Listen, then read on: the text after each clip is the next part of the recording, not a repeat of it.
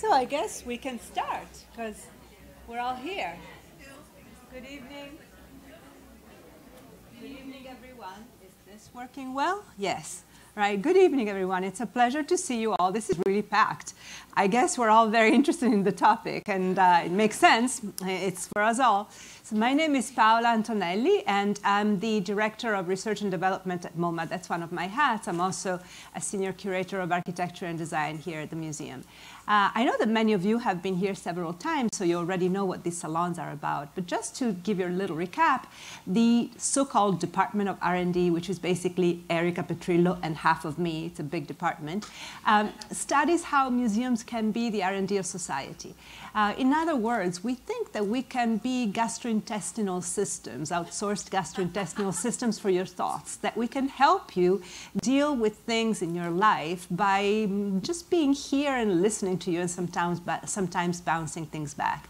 We have this great resource that our artists. We have also art, but artists in particular really help us uh, deal with these very tough uh, issues that exist in life. Some are as tough as death. We had a salon on death in the past, one about silence, one about truth, one about the future, and many others. And you can find them all online if you search MoMA R&D. Tonight we're here to discuss aging, to discuss becoming old, to discuss the idea of becoming old more than even the reality. And as usual, uh, I have put together, actually, Erica has put together a fantastic introduction that I will not even be able to scratch at the surface because it's so deep. But once again, afterwards, please feel free to go back to the website so that you can really delve and observe the slides and take in all the different nuances that come with the concept of aging and all the data that we have, we have been uh, really gathering about them. So New Aging is the title that we have used because the concept of aging changes with time, changes in history, changes in geography, and that's what we would like to discuss tonight. Not only all the cliches that have been bandied about, about the fact that the world is aging rapidly, but also what it means to age and is age and is, is aging and old age a new form of youth, which you'll see for some it is. Um, this is a map of the world that shows where the more rapidly aging, aging population is situated. And you can see, and in particular, my country, Italy, has one of the highest concentration of elderly people. Uh, in 2015, it's 22.4% uh, of the population that is over, um, that is over 65. In 2100, it will be 34.3%. So we're talking about a third of the population. Greece is similar. Same thing for Singapore and for Japan. And mind you, Greece, Italy, and Japan are three of the places where you have those blue zones, you know, with people that are living to be far older than 100 years. So it's fascinating. These are the most rapidly aging countries. Um, also here you can see in the United States the percentage of people 65 years old and older by state. And you know, in Florida, it's only 19%. Frankly, I thought it would be more, quite interesting. And it's not. And instead, you know, see, it's not that different from, you know, even uh, California where it's 13%. No matter what, you see that the percentages are quite high. And, uh, um, oh, sorry, I didn't look at this. And the Center for Urban Future has been talking also about a very important fact aging is not just a matter of years on under your belt.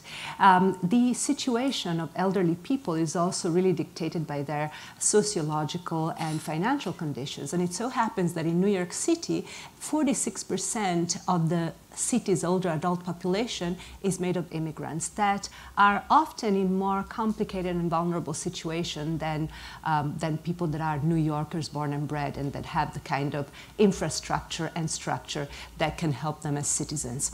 Once again, go back to these slides and just spend an hour with each uh, after they are online. But this is one of the most beautiful slides. There's this great book that came out two years ago by Deane Simpson that's called Young Old that studies uh, utopias in the future of the urban utopias or the myths about old, getting old in cities.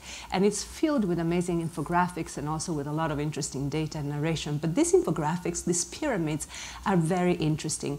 They're a little hard for you to see from far away, but um, for instance, here I have a laser. So let's say this is England. in the 1950s, people were uh, born here and then got to 65 and you can see that the population got rapidly dwindling around 65 years of age and instead right now it's a much more top heavy pyramid because people get to live much longer.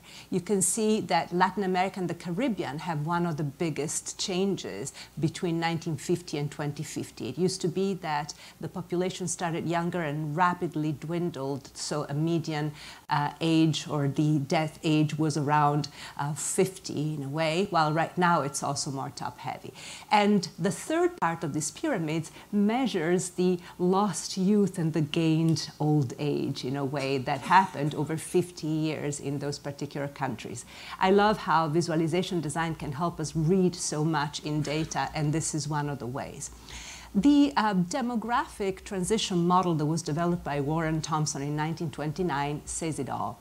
Of course, there is a, a transition that shows that from the pre-modern to the post-industrial era, the life expectancy has, has become much higher. You can see it here. This is life expectancy, expectancy while the blue line is the crude birth rate and the red line is the crude death rate.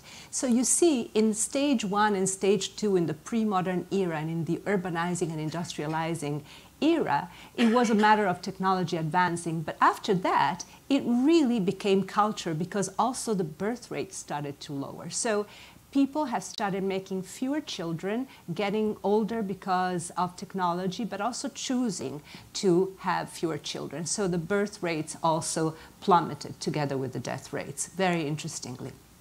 Another um, graph that is in the same book shows how different types of urban, of human progress have helped people get older better. Urbanism, technology, politics and society, medical care, all of these different aspects contribute to enabling us to live longer.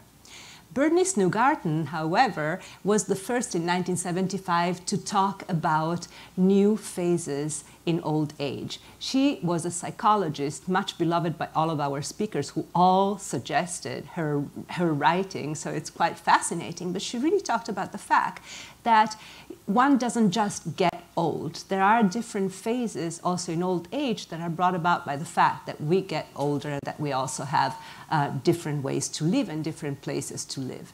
Uh, I really recommend that you read, it's, in the, it's actually in the reading list, but this is a particularly interesting reading. The um, MIT Old Age Lab talks about this, uh, what is it called, Erica? It's the longevity economy, it's called. So this whole slew of products that are actually targeted at older people, not only products, but also entities and institutions. For instance, we have the idea of exercise, all the different health um, uh, journalism that exists for all elderly people. This was uh, the illustration that went with that particular article in 2017 about exercise for elderly people. Then, of course, we have also infographics of any kind, live smarter now to live better forever, all the different things that we have to do to age better, the kind of exercise, the ways uh, we have to live and eat. There are consulting companies that are just popping up from all sides to help companies, corporations, institutions deal with elderly people. And also, there are uh, clubs, like there are social and travel clubs that are only for the elderly, that kind of get rid of the young people that would be disrupting. And there's very interesting reasons why. We'll talk about it later. Um, there are also alliances for aging research, all kinds of, a, of research entities and institutions. And as I mentioned before, there's the MIT Age Lab that gathers uh, scholars of all kinds and scientists and architects to study the impact of old age. Um, interestingly, old age is uh, not all that it's uh, made to be. You know, many people talk about a golden age of old age. Like in the past, there were fewer older people because people died younger, and therefore those older people were cherished and beloved. Well, in truth, we've seen both in mythology and history, that it was not truly that way and that loneliness was a problem then as it is now. One of the interest, interesting statistics that we found in the research is that loneliness in terms of living alone is, is different from feeling lonely. Um, at the beginning of the 20th century in England, 9% of the population above 60 lived on its own, and along the century grew to be about 35%. But what was discovered is that very often it was a choice and not um, a, a, sad destiny. Of course, this isn't a generalization, as often happens with statistics, but it's an interesting one. Um, Erica, who's the research assistant for R&D, is Milanese, as am I, so we have a lot of Milanese inflections. That is actually the poor um, old people hostel of Milan in a painting from the beginning of the 20th century. Very, very sad. Um, but also, the idea of old age has often intersected with sexism, as we all know. So ageism and sexism together are also a very fascinating study to make. So you see this uh, cover of Life from 1926 that shows an old guy dancing with a very young flapper. You would never see the opposite, especially at that time. And those two interesting pyramids that are from 18 1835, many thanks, show the life of uh, an age of a woman and the life and age of a man. The top of the pyramid for the man is 50, for the woman is 30.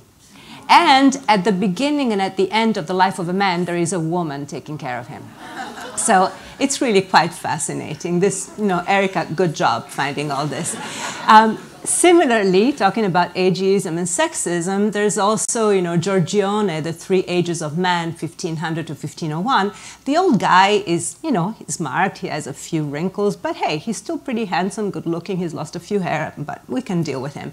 Look here at Hans Baldung uh, and women. She's really young here, she's, you know, young and still pretty here. And then she gets old and mean and she's like falling apart and she's jealous and envious. She has this terrible look in her face. And the same happens with Klimt. The Three Ages of Woman is the title of that painting from 1905. So once again, there's a difference getting old as a man or as a woman.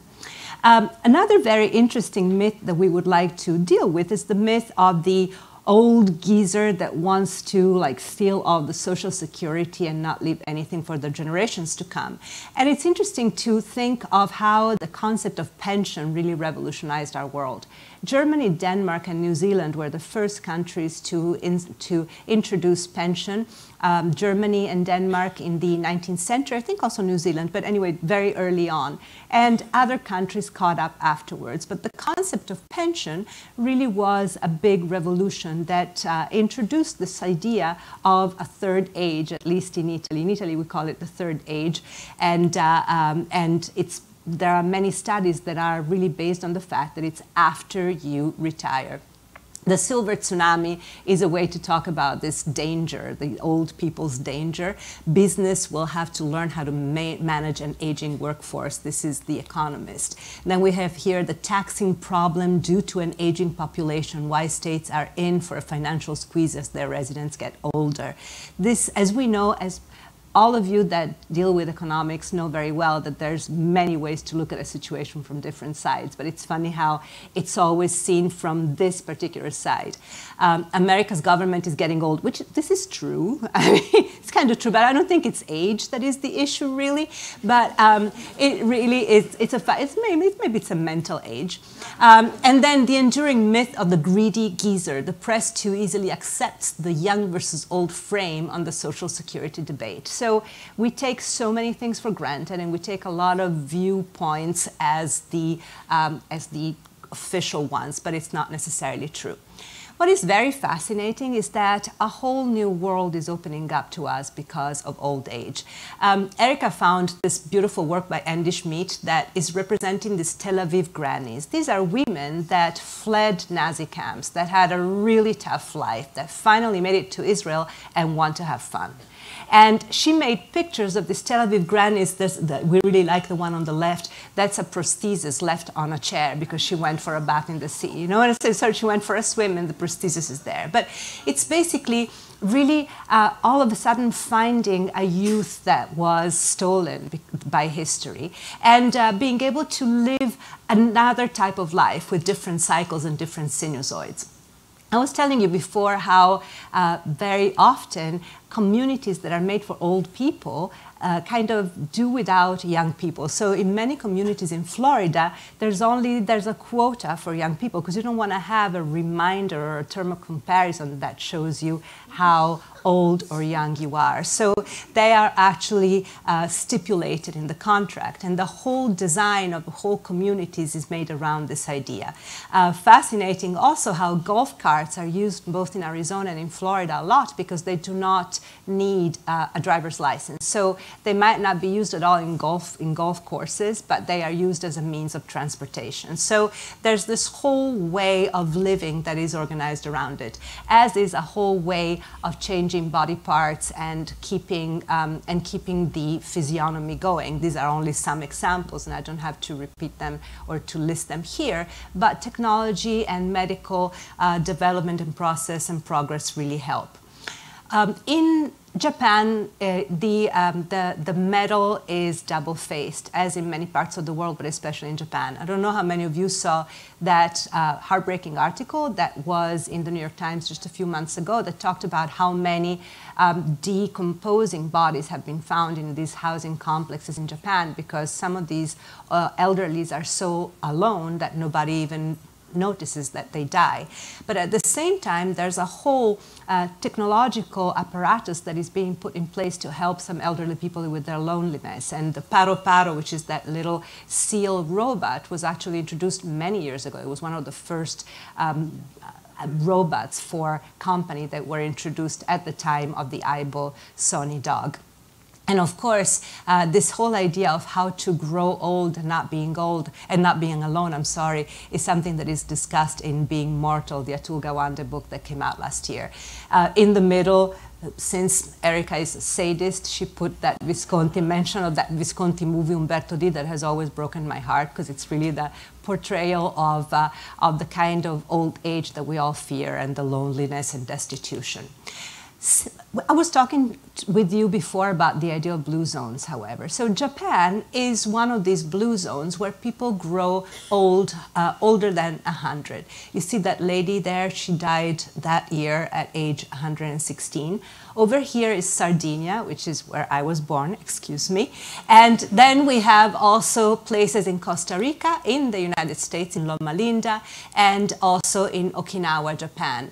Um, what is important about these old ages, because so many have been trying to understand what the secret is, what one finds really is that there's many different uh, chemical or, or physiological tricks, you know, moderate regular physical activity, stress reduction. Some have a special honey in Greece. In Sardinia, there's the fava beans, who knows?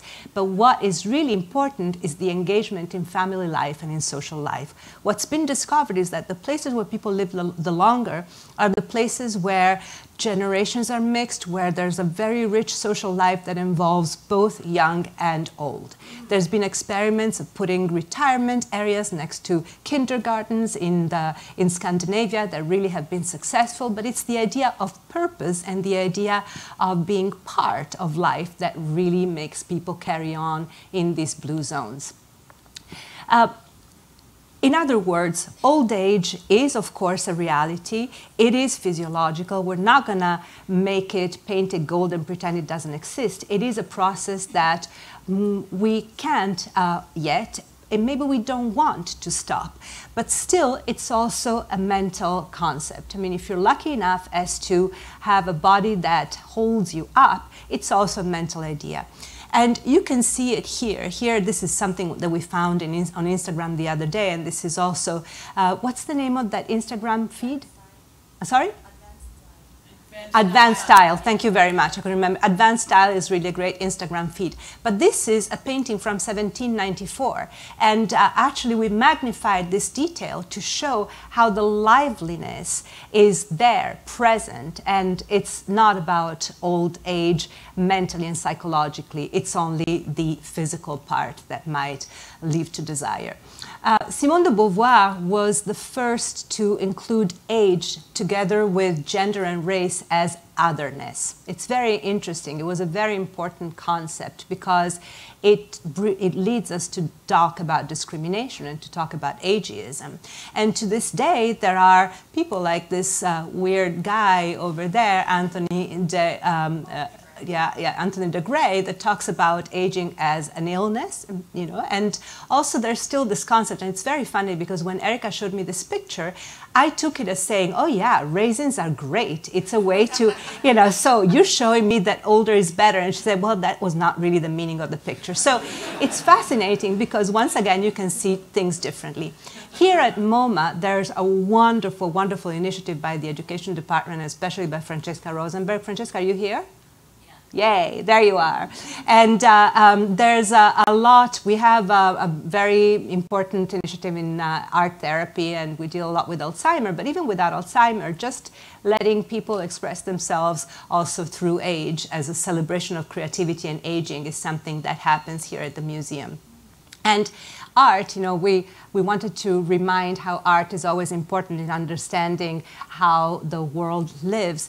This is the work of Maria Lai. It's a fabulous, fabulous piece that is called Legarsi alla montagna, which means tie ourselves to the mountain. It was carried out in the village of Ulasai in Sardinia, where there are very old people and very young people. And the task was to tie the whole village and pass this rope around a mountain. You can imagine it took the whole population. It took children, it took elderlies, and also it took a village. Sorry for the platitude, but um, as, uh, as we were studying it, we realized that there were some families that were resistant, and in a way, the passage of the blue thread in their, uh, in their property became a division as opposed to a connection to the rest of the village. So this is really a wonderful metaphor uh, for living together of all kinds and uh, a beautiful work that we decided to use as the symbol, as the icon for our, um, for our salon tonight. Empathy is what is important and necessary. And sometimes empathy is not only narration, it's also really testing physically what it means to be, uh, to be elderly. Patricia Moore, Pat Moore, uh, was very famous in the 1990s. She was a designer based in Texas who had shown how, in order to really feel how you are when you're aging, you need to really try and put yourself in the conditions of being an elderly person. So she weighed herself up and down and uh, provoked pain in her in her bones. Um, you can do it also in uh, high-tech methods. So this is a, a Genworth R70 I uh, overall suit that um, an insurance company uses to help people simulate what it means to be aging. But once again, there's nothing wrong in it. If you are in good health and you can walk uh, and you can be yourself, there are so many examples of old age icons. Of course, we always bring up Carmen. Carmen is always like the icon, Carmen dell'Orefice, and so is Iris Apfel. Huh? And Anna Magnani. Well, Anna Magnani is here because she famously told her makeup artist, "Don't you touch my wrinkles. It took me a lifetime to get them." Right? and uh, you know, and Dapper Dan, who was here just last week, and I always like I, I mock him. I tell him he's like Zsa Gabor because nobody can find out when he was born. But you know, so it really is quite fascinating to see how there's a whole uh, life of elegance and beauty and potential. And tonight we're going to talk about all this with our great speakers. We're going to start with Bethann Hardison, who is a great model, a supermodel turned entrepreneur, and who also started her own agency called Diversity Coalition that is about exposing and fighting racism and discrimination in the fashion world.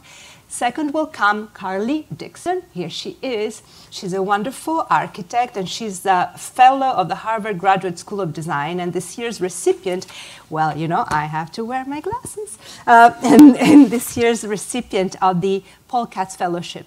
She um, studies how cities and buildings and objects can be adapted for aging population. And she will elaborate on the barriers and opportunities that different built environment face in designing, in being designed for older adults.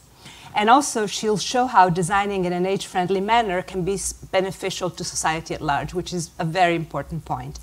Then we'll have Liz Agbor-Tabi, who's the Associate Director of the City Relationships at 100 Resilient Cities. She studies cities all over the world, and she worked with many NGOs to talk about vulnerabilities in different cultures, especially in Africa. Did I say, well, Yes. Um, then will come Linda Mary Montano, who is really a germinal figure in the feminist art and a great performance artist. She will talk about how age has affected her own practice and her own creative process. And uh, as an artist who oftentimes challenges the existence of strict conceptual binaries, Linda will talk about how the aging body has the potential to become a powerful source of artistic inspiration. Last but not least, we'll have Ashton Applewhite, who is a great activist, the leading spokesperson for a movement to mobilize against discrimination on the basis of age. Oh, yeah. And uh, she's a blogger, she's a writer, and more than anything, she is an amazing spokesperson. She will talk about how discrimination and prejudice on the ground of a person's age are rooted in the negative messages about late life that bombard us from the media and popular culture. And she will describe ageism as a perfect target for collective advocacy, and we love that. So we're going to start now with Bethann. Please come to the stage. Do you need that slide thingy? Yay. Oh, I don't know. I, you don't have to. Oh, perfect. No, no. no. All right. It's hard enough to even. Hello, everyone. Before I start, I want to say one thing is that I, I was very impressed this evening because I came earlier to see the show, uh, is Fashion Modern. And uh, it's really quite brilliant. If anybody hasn't seen it, please see it you. because it's not. I'm not trying to. Uh, No, but it's brilliant. it. And the Thank reason why I had to, I'm happy that I saw it is because I have this habit of uh, not being happy with an industry that I'm sort of associated to, sort of turned off to it. And it could be because of my age. It could be because of the time that I've spent in it. I grew up in the garment district. Um, and when we grew up in the garment district in that time period, we never even talked about the word fashion. It was just uh, the apparel business, and that's what we did. But to talk about age and fashion, it seems interesting to me that we can often say that, well, designers, they come up and they start out young and they wind up pretty old and they can die doing their craft. And surely retail executives can start middle age and because they have to have a certain amount of experience. And then they can wind up dying with their craft. But when it comes down to the fashion model, oftentimes there's a limit. And many times people say, well, when do you think it's time for them to stop? I mean, how old do you think you can go? So we start at 13 sometimes. Sometimes we start at 9. I mean, Brooke Shields started at 9. And then sometimes you can go for a long period of time. But oftentimes it is said that the man, the male model, can go much longer because it's, it's a maturity. Because back in the day, you know, men looked at the male, the grown up, the mature man, to decide what he was going to wear or what he should look good in. Are you all looking at things? Would you look at me? Help me out here. Uh, okay, yeah, well, that, that's when I was really young. Um, but so what winds up happening is when it comes down to the female model, the female model oftentimes is thought like she can have to, she can only go but so long. She can't, you know, she really should end a little earlier because it's a, we think sometimes in the past that, you know, fashion was all about a youthful glow, or maybe it was just about a glow. Well, now it's become quite different. Now it's a lot of young, youthful models on the runway, youthful boys for sure, representing men's clothing, and youthful girls always represented the apparel world because the apparel world really was based mostly on the women. So now we have this situation where I, who always fought for what we call diversity, and diversity usually in most companies as well in fashion, was always about race. Well, I wanted to change what had begun to be a downside because at one given point, the fashion model of color, whether she be a female or a male, had begun to disappear off the runway, off the pages of magazines, and it disturbed me because I was a, a runway model. I worked in design, coming up in the garment district. But now, as time has gone by, and I've surely helped to change that and made things a little bit better, now it seems that diversity includes many things. It could be bodies, it could be age, it could be young, it could be old, And people are very concerned about where is the fashion model that represents me? Where's the fashion model that represents my size, my age? Where is she? Well, I've always thought to myself, if you're still a fashion model at the age of 30, 40, 50, 60, something's wrong. You need to move on. There's a life. And that's why most fashion models don't sort of hang around waiting for someone to call them for a job. What winds up happening usually is if you still have that body alignment, that good old DNA, and you still look great and you can easily fit the sample size, surely you have a life, but a designer may call you and ask you to please join on the runway or in a magazine. And it still represents their inspiration. But what I'm beginning to find out as I'm living amongst the millenniums and all the young people who really are fighting for so many different things. And now that fashion has sort of been embraced by popular culture, popular culture seems to say and determine what we should be doing in fashion, which was always the opposite. Usually we, or the fashion industry, projected and the audience was inspired. And now what seems to happen is that popular culture says, I want, and fashion is so in need of support they say, okay, let me do that to sort of like support my market. I honestly have never been the person who, growing up in a kid in Brooklyn, Bedford Stuyvesant, or any place, ever needed to have any of my self reflection shown anywhere to make me feel better about myself. But it seems to be the day has come that everyone seems to say, Where am I? Peace out.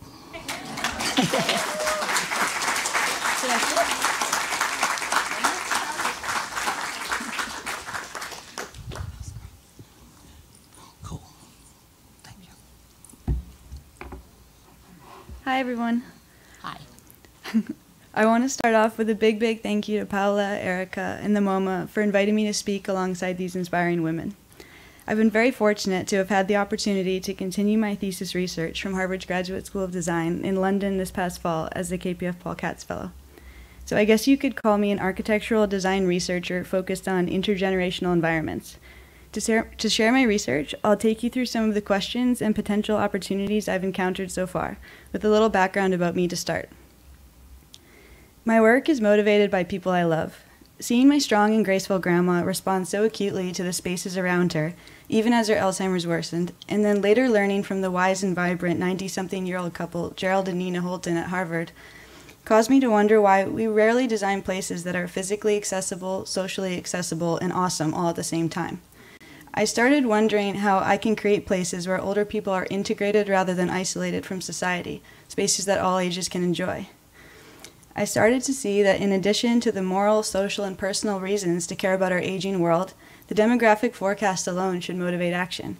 The population shifts will impact people as consumers, workers, carers, and citizens. And by the end of the century, 90% of us, young and old, will live in cities. Where and how are all of these people going to live? We need to think about where we will live and where we will find meaningful relationships at the same time so that we don't have to compromise one for the other.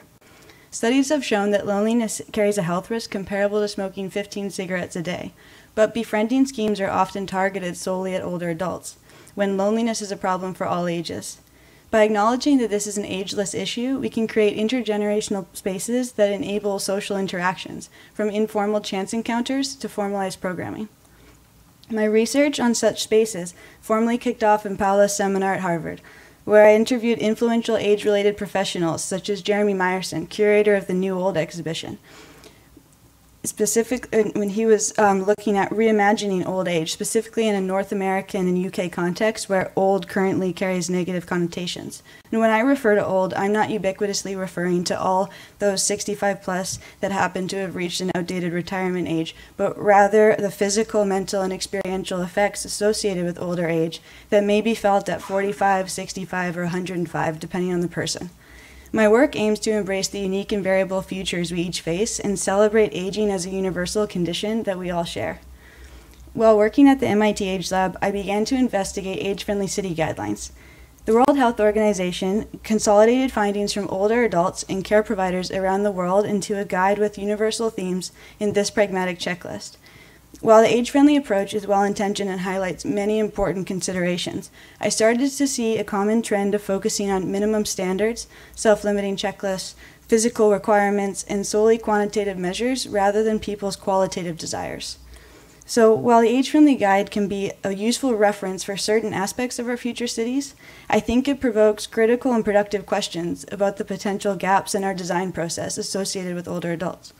The term age friendly means friendly for all ages, whether you're 8 or 80, but the guide focuses on older adults as a siloed demographic, and the language in the guide focuses on physical accessibility requirements, proliferating the unproductive narrative that older adults are only needy consumers of help and support, rather than the reality that they're a wildly diverse group with many needs and desires, plus a wealth of value and life experience. So we see that environments for older adults are currently associated with a narrow definition of accessibility, often assuming physical disability, like bringing, bringing um, likely bringing to mind images of yellow warning tape or ramps tacked on at the end. But if we reframe access to, so that we think of our physical abilities and consider social access and experiential access as equally important parts of the equation, we could design more engaging environments. And when I say social access, I'm really thinking about social dimensions and third things. Social dimensions refer to a space that's big or small enough to make strangers feel comfortable together. And third things refer to that thing that can catalyze a shared experience, like admiring the same sculpture or waiting in the same line. And experiential access refers to how it's not enough to just be welcome, you need to know you are welcome. And this goes beyond signage. What are the visual, circulatory, and other experiential cues that let you know you are welcome? So the access trifecta fills out more of Maslow's pyramid, and designing this way has a better shot of being enjoyed by people no matter their age. So rather than feeling like we have to compromise between accessible and bland or engaging and inaccessible, we can take this on as a dynamic design challenge to reach the engaging and accessible corner instead. And while environments for older adults often rep represent a compromised future, we can see desirable age neutrality in other design fields, the car industry designed specifically for 55 plus users that account for 42% of their sales. But yet, these are not beige products with beige advertising. They're designed to be appealing for all. And similarly, my 90 year old friend Maggie from the Age Labs Lifestyle Leaders shared a list of the attributes of her iPad with me. And everything listed was not only beneficial to older adults, but to all ages. So, if designers stop stereotyping older adults and instead embed age inclusivity into architecture and urban design, it can lead over time to perception shifts, reframing our expectations of later life. My favorite example of the influence of expectations is psychologist Ellen Langer's counterclockwise study. She had older adults live in a retreat for a week, where they spoke in present tense as if they were their 20 year old selves. They measured their mental health, physical ability, and, and, cognitive abilities before and after, and found that everything improved exponentially, even their eyesight and their memory. So we can reframe the benefits of accessible environments as well. Right now, the design process has accessibility standards that look like this, showing us when a ramp is required. But if we can demonstrate the many situations where the ramp is required, desired, or both, we can see how designing with older adults in mind benefits people of all ages and abilities. We see it with these grand entrance ramps at the V&A, where they're also the experiential cue that let us know all are welcome here. And we see it with this ramp in Oslo, not as a secondary route, but as the destination in itself. And we see it in this community center in Sao Paulo, one of many intergenerational spaces in Brazil, a country where ages are more integrated culturally. These ramps are, are steeper than codes would allow here. Ramps are getting ever shallower in our risk and liability centric context, suggesting that support is more important than challenge or engagement or play. And maybe it is, but I think it's worth questioning, and I think it's worth asking what we can learn from places like Brazil. So you can see it's no secret that I love ramps. And, and it started with this one in particular. This ramp is playful, intriguing, poetic, and pragmatic all at once. It frees your eyes from the ground as it reveals the world before you. It represents democratic access for all. It's the reason I associate accessibility with magical, hopeful places rather than with this. I realize this is the world access is perceived to live in between policies, checklists, regulations, standards, statements, reports, and supplementary guides, I can understand why it's difficult for designers to access access, to get excited about it, to visualize how these dense rules can catalyze engaging, enabling environments, rather than prescribed, constrained ones. If we can clarify where designers have room to play, we might reveal more creative ways to make environments that go beyond the bare minimum. We can show how physical access goes beyond safety and support. It can be about physical play that can lead to social access. And we can see how physical access as being challenged in a positive way, like this park that challenges all ages to reorient perceptions and discover the possibilities of the body. And we can see how social access can lead to intergenerational encounters through London's Barbican Housing Complex and Arts Centre. At the Barbican um, is a public plaza where people of all ages gather. If you prefer a backrest, you have five seating choices. If you require or prefer something to push off of out of your seat, you can choose from three types. If you're in a wheelchair, you can pull comfortably into three spots. If you'd prefer to face a view, you can sit in five areas. If you'd like to potentially chat to someone, you have a table and bench dimensions that support this by allowing for a human sized space in between, so you can com- comfortably sit with strangers. So, whether you came to enjoy your lunch, the view, a book, a rest, or a chat, the physical and social access dimensions enable it. Then, if you add a third thing, and for the Barbican, maybe it's that pigeon trying to eat your sandwich, you have an excuse for interaction. This camaraderie could be enough to make someone's day. Plus, benefits like someone watching your items while you go to the loo allow you to, space, to stay in the space for longer. Maybe you return more often, maybe you consume more, maybe you feel more invested in maintaining the space or participating in the community, ultimately benefiting all the stakeholders involved. So, looking at the process for getting to this place, we don't see the checklist or the code. We see the qualitative, subjective experience through sketches and perspectives. So, to show a quick snapshot of what I'm working on, I'm interested in how we can merge the poetic and the pragmatic, making the process for designing accessible intergenerational environments one that's more playful, thoughtful, and intentional, where the physical, social, and experiential access dimensions and qualities are embedded into the project at the beginning to generate provocations for a new future of aging, rather than being tacked on at the end. And we can imagine that a shift in our process can lead to changes in outcomes, where we don't choose between these qualities as either or scenario, but rather embrace the complexity of the city and consider how physical, social, and experiential access can integrate all of these qualities so we don't have to compromise. Then we could imagine how these shifts over time may lead to thinking about accessibility not as prescribed afterthought, but as creative forethoughts, not as warning signs, but as welcome signs, ultimately taking us away from ageist silos towards meaningful intergenerational relationships. Thank you.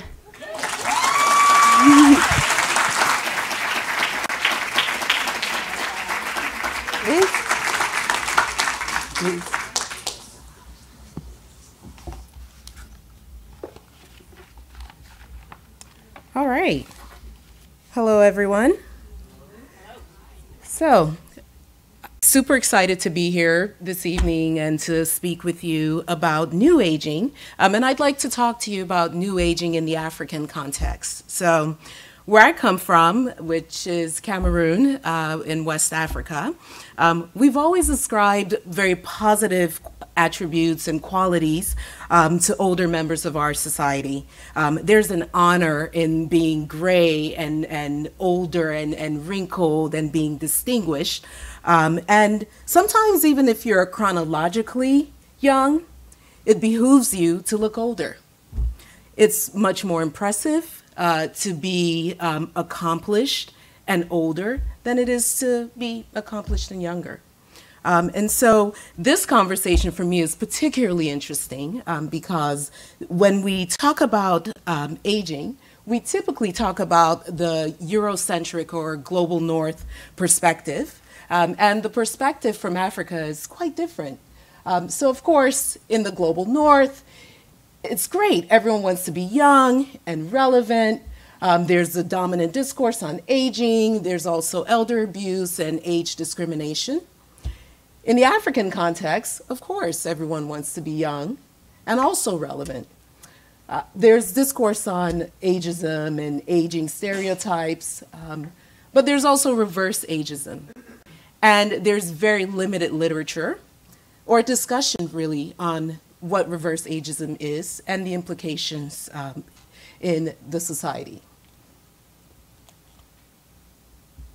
Historically in Africa, few people lived beyond 50 years old. To be 60 years old, you were an elder. To be 80 years old or more, you were an anomaly. Most people uh, lived in predominantly rural settings.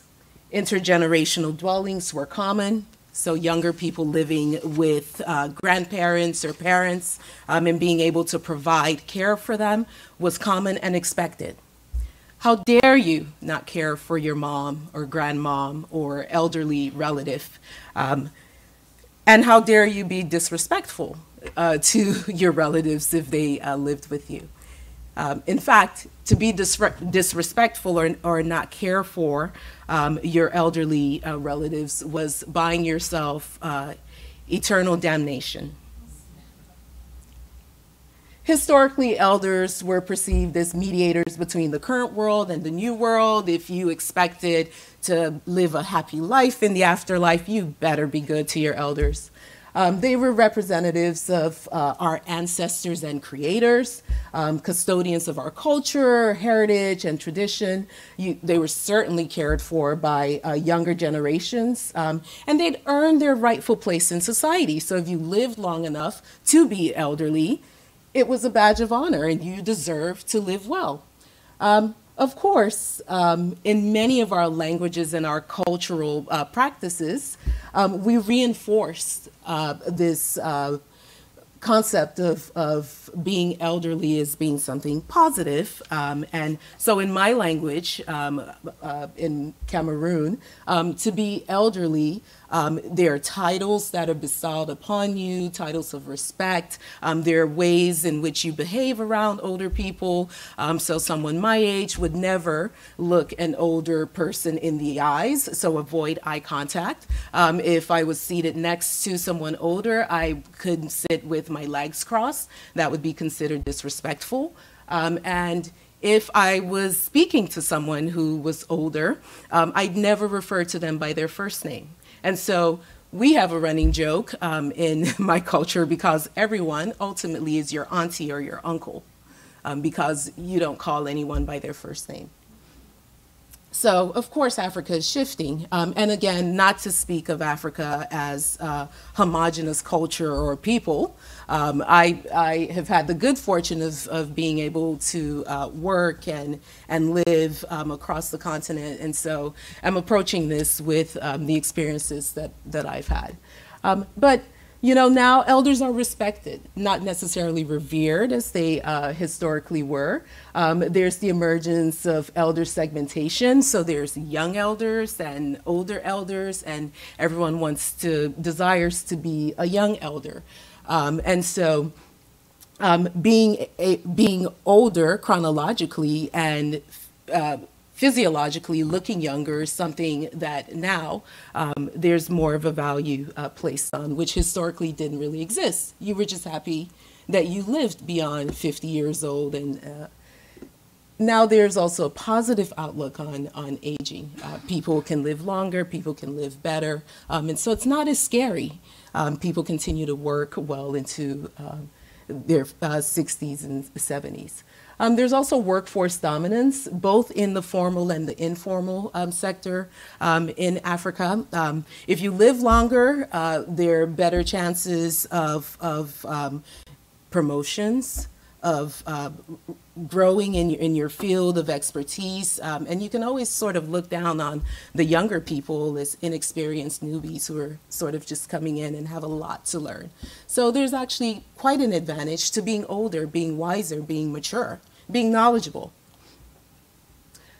Of course, now there's uh, in Africa with uh, innovation around public health and the eradication of infectious diseases, uh, people are living longer.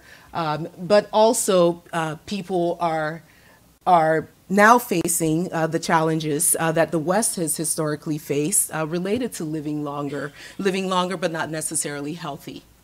Um, with globalization, our, our nations are, are so well connected, and what happens in one nation ultimately uh, impacts or influences the others. Um, and so we're seeing a lot of embracing of Western ideals as well. So uh, the anti-wrinkle uh, creams are everywhere, um, and Botox and everything that you can imagine um, in the West. Um, religion also. So historically, we saw our ancestors as our connectors to our gods. Um, but now, with the rise of uh, Christianity, there's the prosperity gospel, and um, which there's no longer uh, much uh, belief in in sort of the ans- the ancestors, the powers of the ancestors. Um, and then, of course, what I think is uh, one of the biggest shifts is uh, urbanization. So Africa is the most rapidly urbanizing uh, region, um, unparalleled. Um, and in Africa, cities are the future. So currently about 54% of the global population lives in cities. Um, you can probably tell I'm quite passionate about cities. Um, I, I uh, my work uh, focuses on cities. Um, but currently, um, the world the world is urbanizing, of course, and people are moving to cities. And and why they're moving to cities, I think, is something that we all um, know quite well. People are moving to cities as places of innovation, places of opportunity, um, and places of uh, connectivity also. And that's not any different in Africa um, than it is across the world. Um, but I think it's especially um, more so in Africa. Um, in, excuse me. I think it's especially true in Africa um, because this is a moment um, of opportunity that most people have not had um, historically. And so when you think about the drivers uh, for this shift, economic, uh, conveniences, um, social connection, et cetera, we see that most cities, uh, these are some of the leading uh, rapidly urbanizing cities in Africa, are anticipating an increase in their population of over 80%. Uh, uh, a few of the cities that are rapidly urbanizing um, across the region and um, Dar es Salaam, this is Lagos, um, this is the uh, famous bridge that uh, that Mark Zuckerberg uh, ran across in Lagos. This is Cairo. And here, just looking at the demographic uh, shifts uh, in Africa versus Europe, um, you can see that Africa's uh, demographic skews significantly uh, younger. So 40% of the population currently is below 19 years old um, in Africa as compared to some of the other regions which we talked about earlier. So of course, this is a young continent, a continent of opportunity. Um, nonetheless, it's a continent that's governed by some of the world's oldest leaders, and there are implications um, for this. And Africa is certainly um, urbanizing, our cities are urbanizing, and our demographics are shifting, but it's also within the context of an aging planet uh, with physical, social, and economic vulnerabilities. Um, we talked earlier about uh, ageism and uh, sexism. You certainly see this in Africa, uh, where women and the young are disproportionately impacted in uh, all of these areas some of our uh, governance systems uh, and the lack of social uh, safety nets um, and pro-youth provisions also confound uh, the impacts of aging. Um, and nonetheless, it's not all a bleak um, uh, story. Uh, there are a number of solutions and innovations and um, that are currently underway to try to improve the outlook for the young in Africa. Um, so today, what I what I'd like to urge all of us to consider is, as we have uh, this conversation around ageism, um, to also think about uh, the young in Africa and the ageism that they face. Um, and I look forward to uh, an engaging conversation with all of you. Thank you.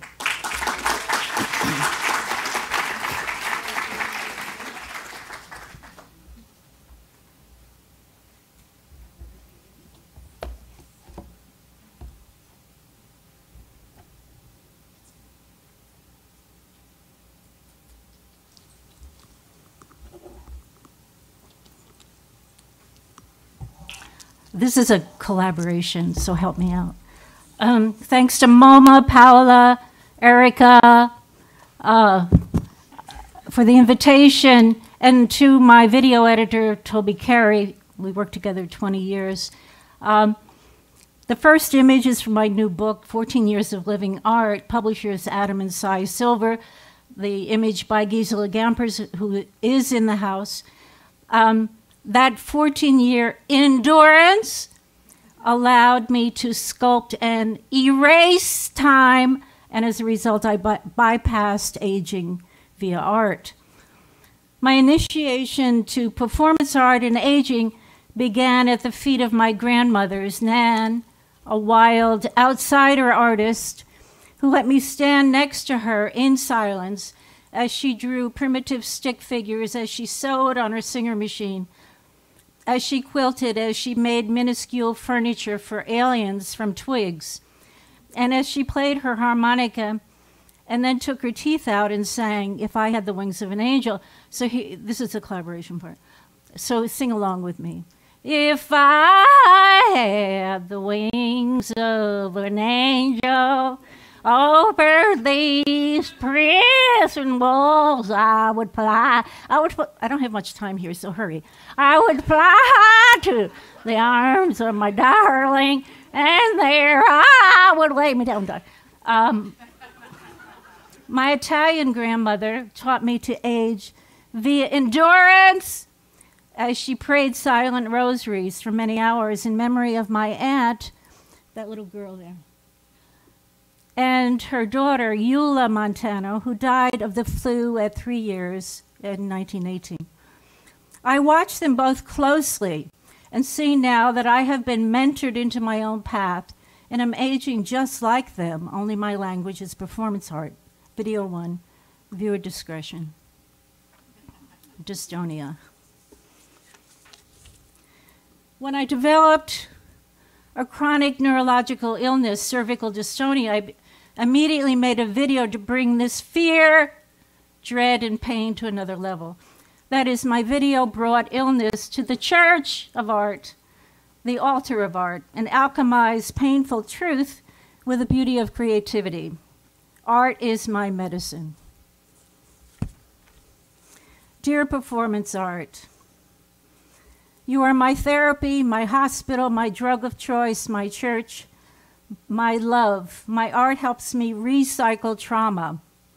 With you, I destroy, transform, and eliminate time, and therefore bypass aging. No time, no aging. How fabulous. I have rehearsed the consequences of aging and subsequent fear of loss of sight by staying blindfolded for a week many, many times. I now perform. um, I now perform as an elder to rehearse aging. Why rehearse? Because I want to be very easy on my CNA and caregivers. My daily life with its traumas and problems has always been food and inspiration for my art. Life gives us prompts for art. For example, if I'm lonely, I make lonely art. Afraid, I make afraid art. That is the recipe. So let's look at uh, other videos. Uh, Mother Teresa. I experimented with persona I have one on. I have one on intoxication that's fabulous. Um, and in 1976, made a video of myself as famous people, young people. As I aged, the people became older. Bob Dylan, Paul McMahon, Mother Teresa. Why her? I was walking like Mother Teresa because I have dystonia.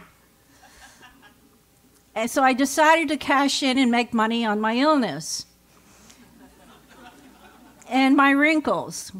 And I became her. And I always wanted to be a saint. Maybe in the process, some of her divine ease would get transferred to me. Um, next, nurse, nurse. My belief is that I must prepare for dementia and Alzheimer's altogether. Dementia and Alzheimer's. Thank you. I might succumb to both, but I don't want to bring my neuroses and angers and rages to aides at a nursing home are taking care of me, feeding me, changing and toilet, toileting me, plus 45 other clients while making $8 an hour. I performed in this video as if I were a struggling nursing home client and then allowed for the angel of acceptance to teach me how to receive help from the harried nurse. My art teaches me how to age with dignity. Caregiver facts 43.5 million adult family caregivers care for someone over 50 at home. 14.9 million care at home for family members with Alzheimer's. In two, 2009, 61.6 million people provided unpaid care for the chronically ill. 1.4 million children, children, children, 8 to 18 cared for adult relatives. uh, so could you, could you all collaborate and that you can put that on your resume, collaboration with. Um, could you could you do the angel of acceptance version of nurse nurse nurse nurse nurse nurse but also practice the other one at home it's very important uh, next next video it won't be long. Have you ever heard of senescence? I think I have.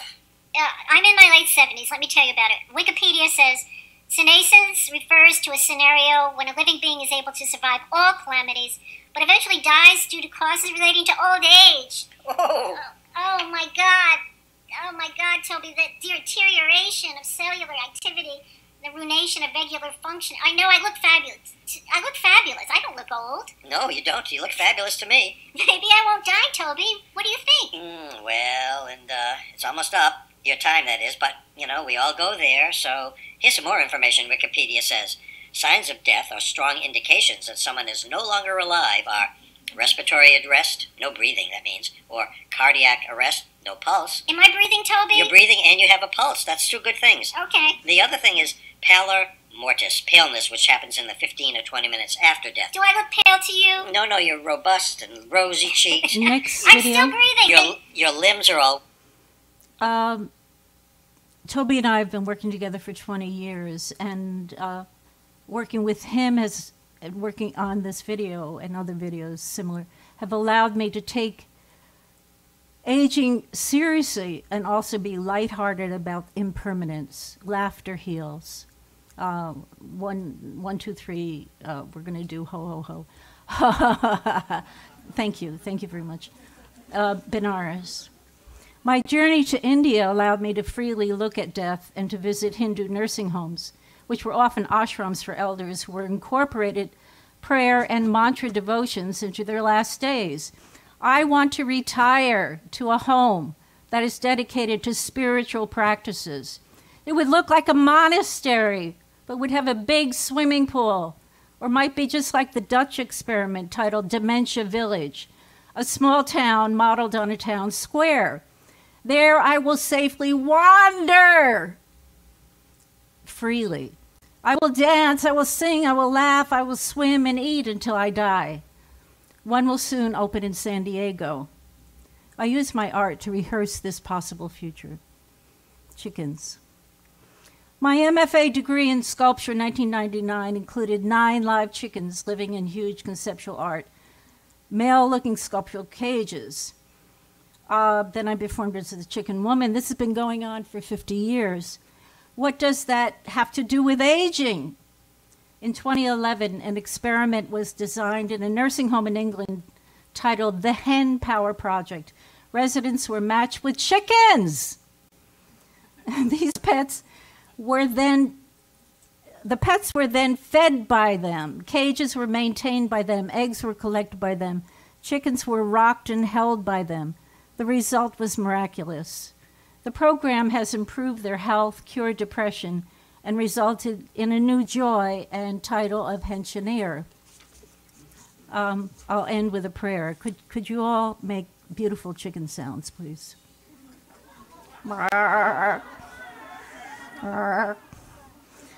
Dear Mother God, please, please alert my relatives that I want to be sent to England when that time comes.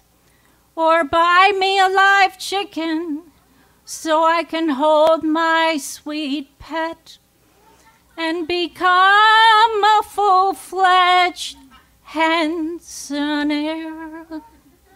Amen. Thank you very much.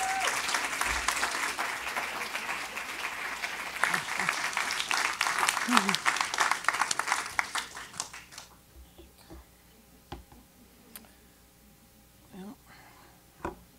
I start it.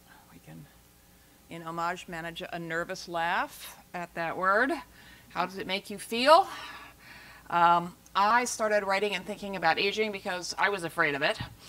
And what was my biggest fear? Ending up drooling under a bad Van Gogh print in some grim institutional hallway not designed by Carly. Uh, and then I learned that only 4% of Americans end up in nursing homes. And since I started working on this 10 years ago, that number has declined to 2.5%, which is pretty small. And if you subtract that uh, 25% of uh, Americans over 65 in nursing homes, um, 90% of them can think just fine, right? Alzheimer's is a terrible disease, and the odds do increase with age, but dementia rates are falling significantly. The real epidemic is anxiety over memory loss. So, what was another assumption I started out with? That old people were depressed because they were old and they were going to die soon. And it turns out that people are happiest at the beginnings and the ends of their age. And the longer we live, the less we fear dying. This is called the U curve of happiness, and it's been borne out by dozens of studies in the US and around the world. So I started thinking about why so many people didn't know any of these things. And the reason is because of ageism, treating people differently because of how old we think they are. And we experience it any time someone thinks we're too old for something, a task, a relationship, a haircut, instead of finding out who we are and what we're capable of, or too young, because ageism cuts both ways. And that's because negative messages about late life bombard us from the media and popular culture at every turn. Wrinkles are ugly. Old people are incompetent. It's sad to be old. And we older people can be the most ageist of all because we have had a lifetime to internalize these messages, and most of us have never, it's never even occurred to us to challenge them. And I had to acknowledge it and stop colluding. For example, I stopped blaming my sore knee on being 65 because my other knee doesn't hurt and it's just as old.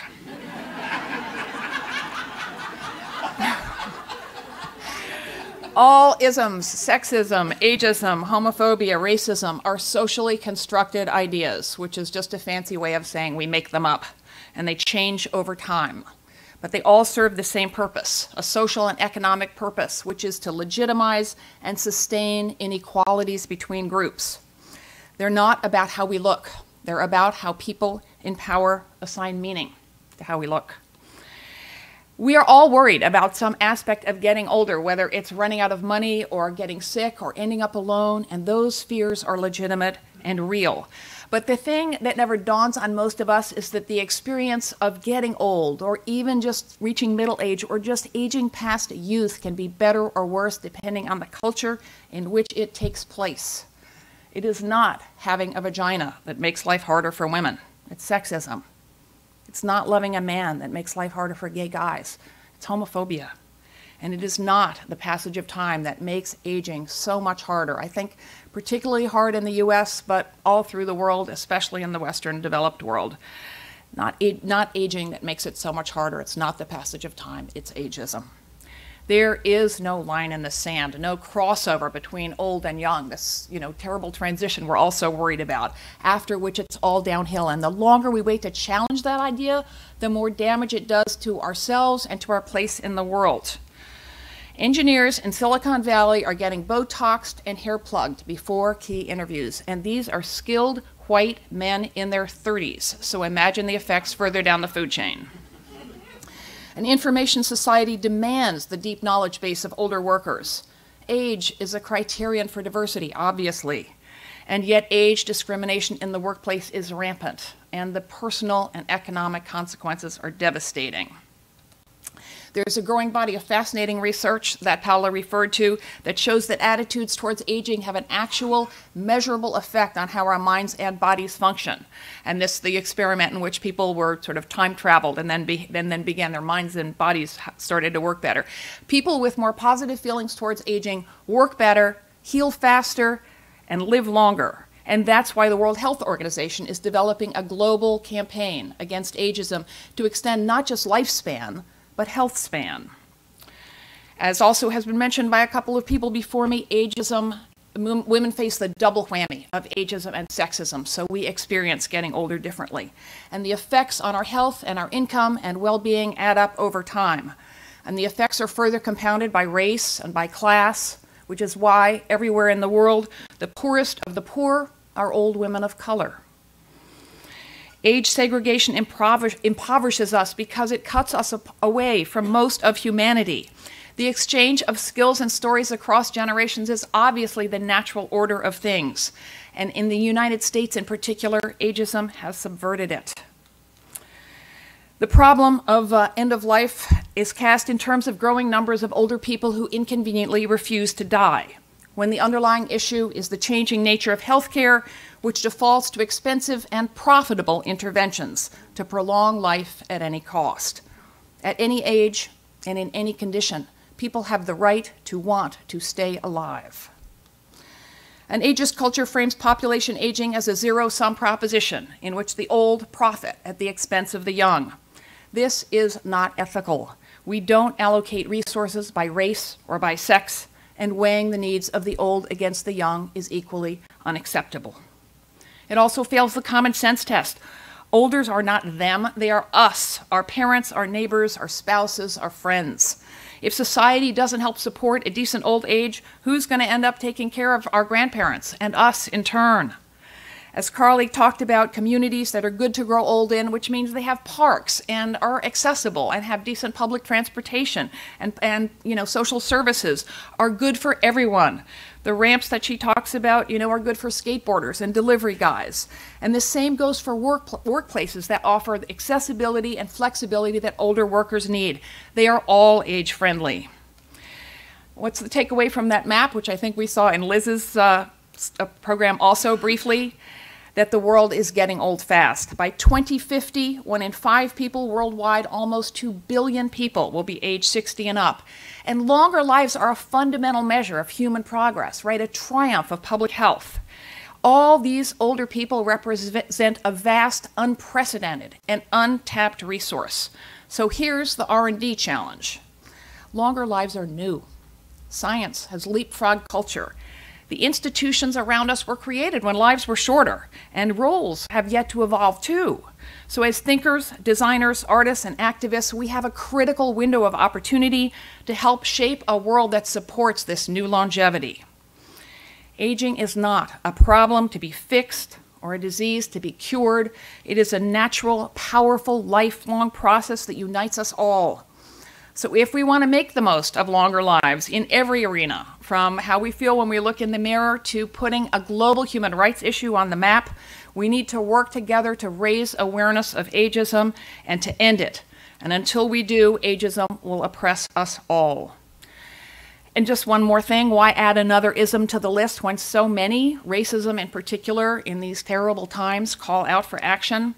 Well, here's the thing we don't have to choose. Once again, it's not zero sum. Because when we make the world a better place to grow old in, we make it a better place to have a disability, to be from somewhere else, to be queer, to be non rich, to be non white.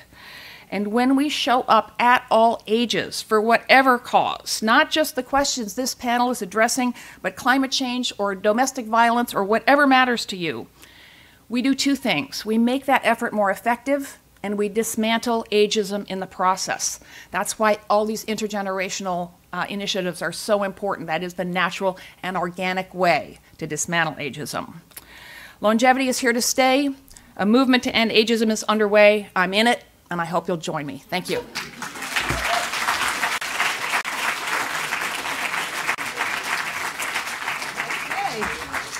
Well, I would like to invite you to sit with me, please. I know that I have that seat. I've been delinquent and I don't know where everyone is sitting, but yeah, we'll we'll make do. Also, if the microphones are scrambled, but it's been really wonderful to listen to you all. And I want to thank Azal for not having mentioned cocoon. That's pretty good to go through it without that. But there's also, I know in the audience, so many people that are working on this same sub subject. And I would like if you don't mind, Francesca, I'm going to put the spotlight on you for a moment, but could you describe the experience of having this initiative at MoMA with the older age and creativity? Is there a microphone that we can throw to Francesca, please? She's up, she's up here. Mm -hmm. If you don't mind standing. Okay, mm -hmm. thank you. Thank you. Well, um, first of all, thank you to, to Paola and to Erica and to all the panelists. What an incredible uh, what incredible presentations, and I can't wait to dive into the conversation with you all. Thank you, Paola, for just giving me a minute. Um, we do have this initiative at MoMA. Um, it's relatively new, and I'm wearing gloves because I'm very cold, but I'm a fashion statement. I realize I'm wearing these gloves. Um, and so the idea is for us to be part of this rethinking um, of, of older age and to um, to think about it in terms of creativity and connectivity and curiosity and um, what we do here is we, we also went through a period of research and development working with an advisory board of people ranging in age from um, 62 to 92. And, um, and we found out from them what they wanted. And of course, what, what everybody wants is something different, right? They want, um, and so that's what we're trying to provide here. And we're also working with colleagues at um, cultural institutions across the city and also now nationally and internationally um, to be a part of this movement because we really do believe that, that culture needs to catch up, um, as you so eloquently said. So please look for Primetime at MoMA um, offerings online. You can just do a search and find out. But we, we do offer regular programs here for people who are roughly 65 and up. But we also really believe, as you've all said so beautifully, about intergenerational programming, and we want to, to bring younger and older people together as, um, as it's so important. So, thank you. Thank you. Um, it's interesting because you were um, talking about institutions taking part in this changing of the culture. And then um, you just said, Ashton, that science leapfrogged culture. And then Carly briefly spoke about legislation and Bethann about her area of activism. And we're all doing something. But um, I wonder what comes first. Do, does legislation come first? I mean, science goes its own way. But how do you make things happen if culture is not ready? Do regulations and legislations help, Carly? I've been interviewing uh, different stakeholders related to the built environment. I've been interviewing different stakeholders in London uh, with related to the built environment and asking that question. And sometimes they say it needs to come from the policy first, and sometimes they say it needs to come from the funder first. And then a lot of them are pointing me towards the grassroots to the bottom-up initiatives too. But I, I, feel like it could, if it comes from all directions, like the more the merrier kind of thing. If we mm -hmm. can mm-hmm. all, all start thinking about it. But I don't, I don't I don't know. You don't know yet? Yeah. Do you have, yeah, Ashton, I was about to come to you. Um, culture precedes legislation.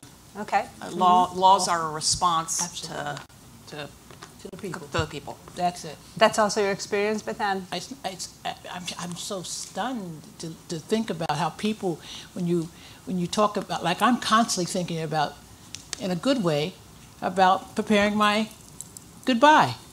I mean, people, I, am raised by a father and a mother, a grandmother who really believed in dying. Mm -hmm. And, uh, and they, they, they didn't let you think that you weren't going to do that. That was from the beginning. I was eight years old. She was saying, You're going to die. well, I would say, You know, what, what, you talk about death all the time, but what about life? And she always said to me, my grandmother, she said, I don't know a thing about life, but for sure you're going to die. Now, this is, a, this is an interesting thing to me because if you come from a place where people raise you to believe in getting older. Mm-hmm. And you appreciate it. And I have another thing I want to say before we go into someone else is that how women don't just enjoy the life from beginning to end. Like they have a lot of restrictions about what a man should be, how old he should be, how much money he should be. And I keep thinking, why don't you enjoy anybody who just finds you attractive? You know what I mean? Why don't you just involve yourself? So I think it starts like when you say about culture, it starts from people if we just relax and enjoy it to the end, live to be, instead of trying to figure out, you know, like you said, I have never thought with the injuries I have now that it comes from age. I always think it's come from the fact that I've worked very hard to gain it. It didn't rust out.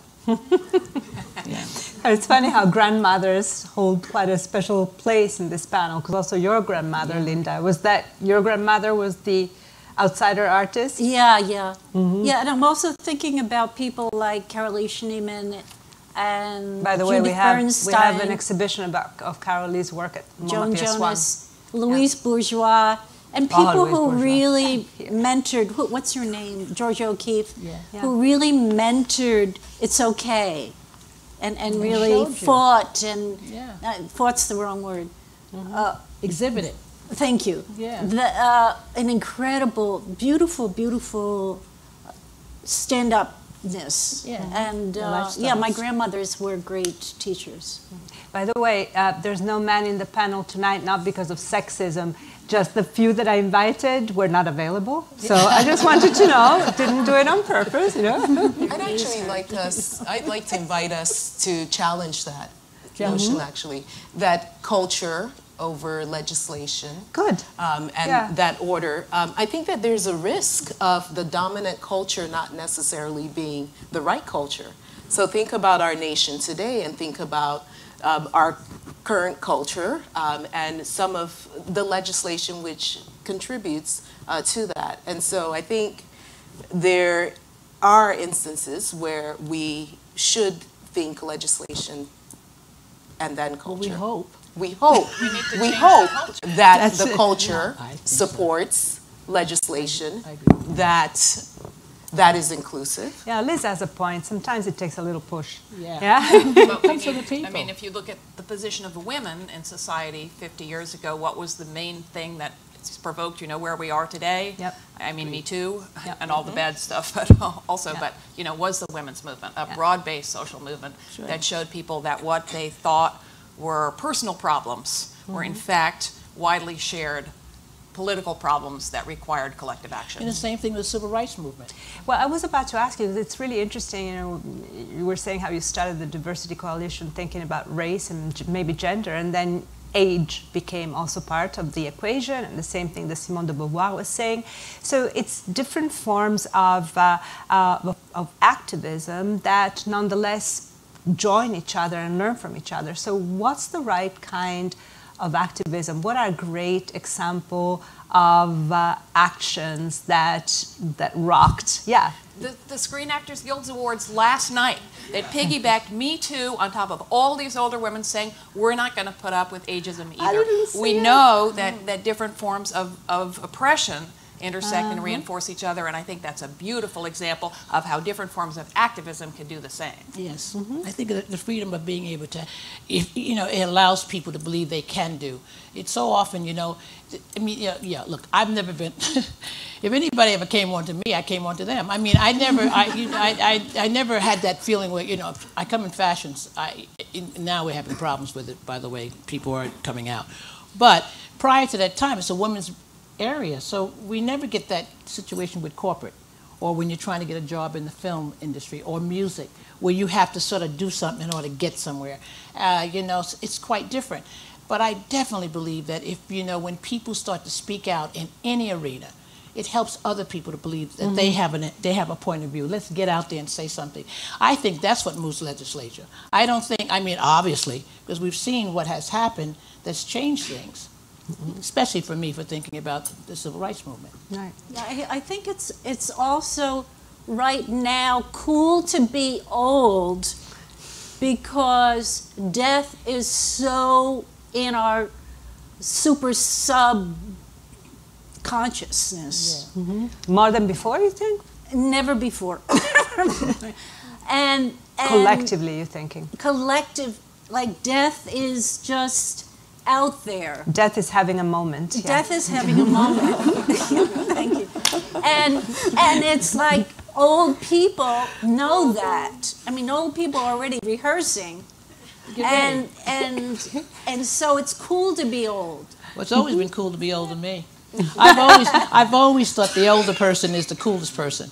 I've always thought that the young person is kind of cool, but they're not as cool as the oldest person. And that's the reason why I think young men like me. Because I'm, I, I don't think that's the only reason. I think I'm kind of cool. Not because I'm old, but you know. So Liz, I like the fact that you're really like countering usually. So how do you feel about this and how what's happening is is is it the same in Africa or is there resentment right now towards elderly? Well, I think there's more of a resentment uh, towards younger people and younger Yeah. people who just don't have the opportunities. Um, whether you're looking at it from a governance perspective, where you have brilliant young leaders who are hungry and, and want to lead the development and the leapfrogging of African societies, but just don't have the opportunities Because they're not respected. because they're not respected in Yeah. the business sector, whether you're you're thinking about access to capital. Um, it's particularly difficult for a young person to uh, raise the capital to start a business. And they're also not nurtured. They're not nurtured. Not nurtured. yes, They're there's- not mentored. they're not mentored. yeah. Um, I, I think so. For me, this conversation is particularly interesting because I think about a society where to be young is actually a handicap, Well, you're young. You're, and to be a young woman, especially, yes, because, is a handicap. because you're a young woman. Well, I'd like to think so. so I wanted to ask Carly. Um, many of the examples that you showed were delightful design, and I'm always thinking of the example of uh, OXO, the good grips, and Sam Farber, the creator of OXO, that mm, created those good grips because his wife had an impairment of the wrist, and then it became a really successful company. It's what they call in design extended usership. You start something good, and then it becomes good for everyone. Um, you showed examples of sublime design, you know, from Barbican to Sao Paulo. They were all great. There's so many designers right now that are working on uh, the integration of different uh, of different ages and different types of population. Have you encountered some offices in particular that you that we should look at that do special work that is really remarkable? Yeah, it's interesting that those examples, in that case, uh, often it wasn't necessarily an intentional part of the design process, but it happened. Mhm. It was just good design, yes. Yeah, Mhm. yeah. Um, and it's interesting to see some of the intergenerational models coming out of the Netherlands, or there's the, the primary school with the senior home in Seattle, but those are more program based. So it, it's interesting. I, I'm, I'm sort of collecting, trying to collect a body, but I find that I'm often finding more of the examples through the program than the design firms themselves. Are you working on a book to collect together these examples? Uh, I should. I, yeah. I think it would be, you know, it's it's it's by it's by example, you know, just uh, just seeing these great examples of design at all scales that are not only about age but just simply about living better is so uplifting, right? Yeah, so it really is. So I'm gonna open it up also to the audience because there's uh, so the first one is here, yeah, and, uh, over here the lady with the red sweater. And then the second one, can you lift again your arm? Yeah, and then the striped. Hello, everyone. Thank you very much for this discussion. So, I have a comment and a question. Um, in Europe, there is a movement uh, for mentorship for girls, for women, and I'm talking about traditional, classic, professional business mentorship, where they call it the 3G mentorship, where they're saying the most effective mentorship is when you skip, the mentor is, they skip one generation and go to the next one. And generation here is 10 to 15 years. Mm-hmm. So what they're saying, a 25 year old woman should be mentored by someone who is about 45. And they're mm-hmm. saying this is the most effective way of doing it. So this is a case where ageism is not a theoretical thing, it's not an inclusion thing, it's sort of a reality based on cognitive and experiential aspects of life. Okay. Yeah. And the uh, question I'm, I'm originally from India, and the way housing was traditionally built, there would be a courtyard. And in the courtyard is typically where the older people would spend their day, basking in the sun, playing with the grandchildren, and so on. Now, with urbanization, the traditional way of building built spaces is the Western model of the apartment building. Mm-hmm. And these are all closed spaces. Yeah, these are closed spaces. And my question to you is the passive impact on ageism due to these structural models is what I'd like to bring out. So you, you, do you want to talk, uh, Carly, about it? Yeah. Mm-hmm. I mean, I think there's a lot of room right now to build so many more types and models of architecture for uh, intergenerational futures because right now we see basically only the retirement home, or we're aware of mostly just the retirement home versus aging in place.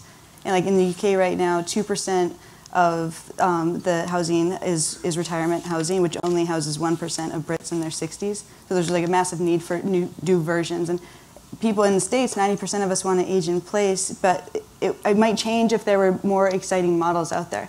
So I, I think there, there's definitely like the considerations of the architectural features like lighting and, and views and, and access to the, the public realm in, in how those affect people of all ages and in creating these new models are really important things to consider that will create desirable places that might encourage us to downsize rather than aging in place in homes that are maybe too big for us or aren't fit for us. So I think it's exciting to see all the opportunity that could be there if we if we start to experiment with models with those things in mind.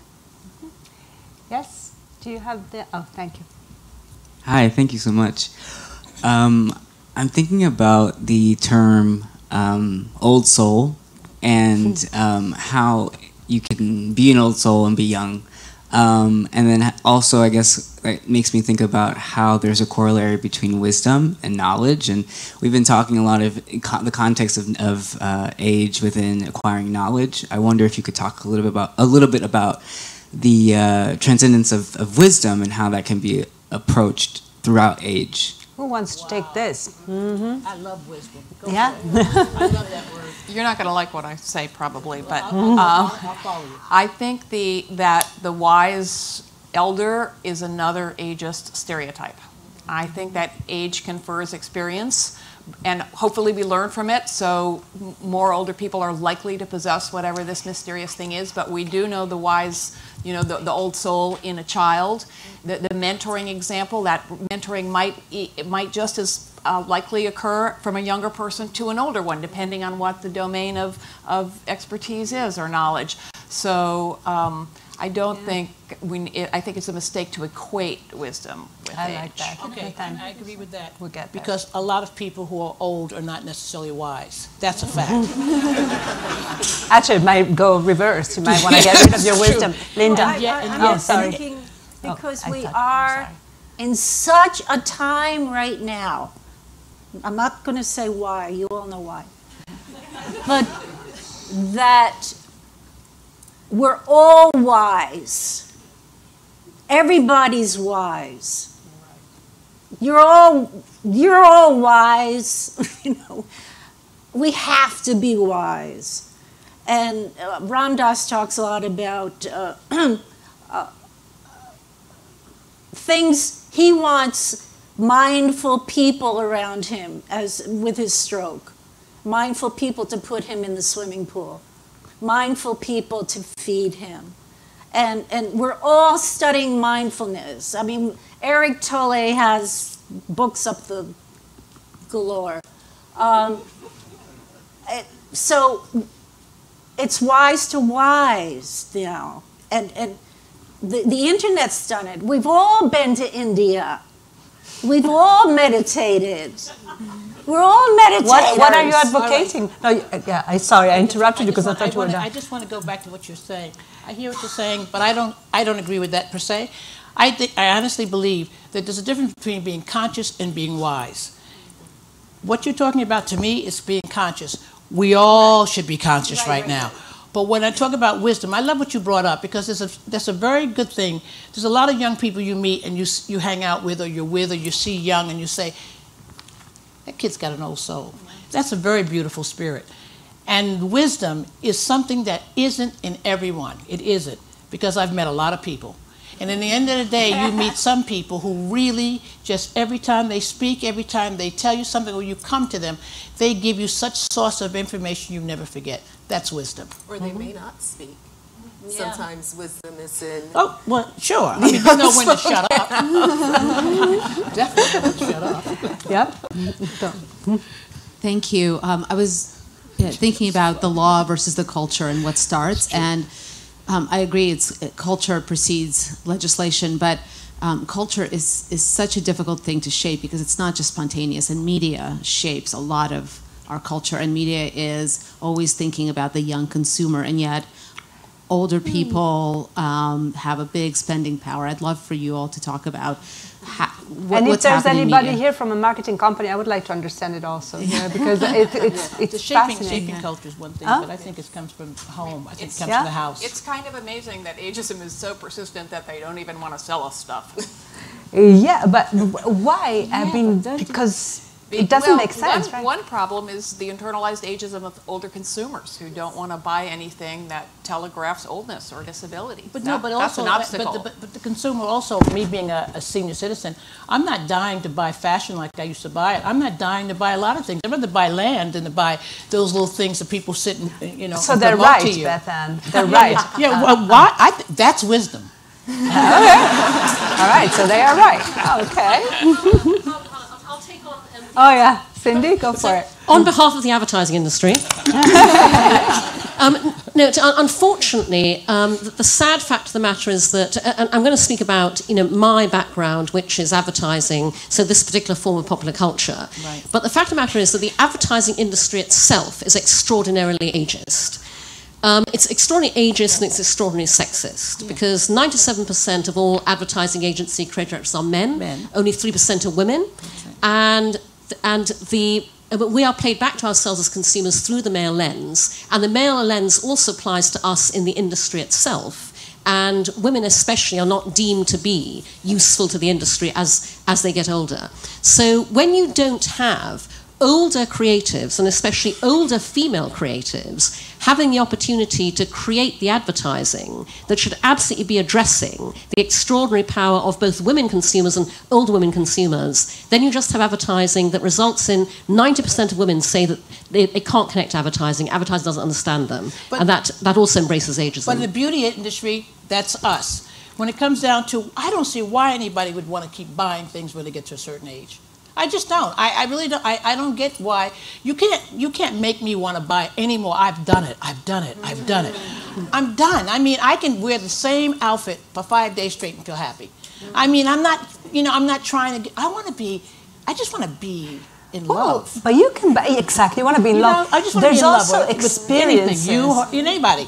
But you know, they can sell you experiences. No, though, they right? can't. I don't think the eh, the average. I agree with you. The and I do know this true because I work with a lot of advertisers. But the fact is, advertisers to me are just in a bubble. They have nothing to offer us. They even now they figured out. Oh, let's stop saying anti-aging. Let's not say that anymore. We want that. We want to. We don't want to discriminate.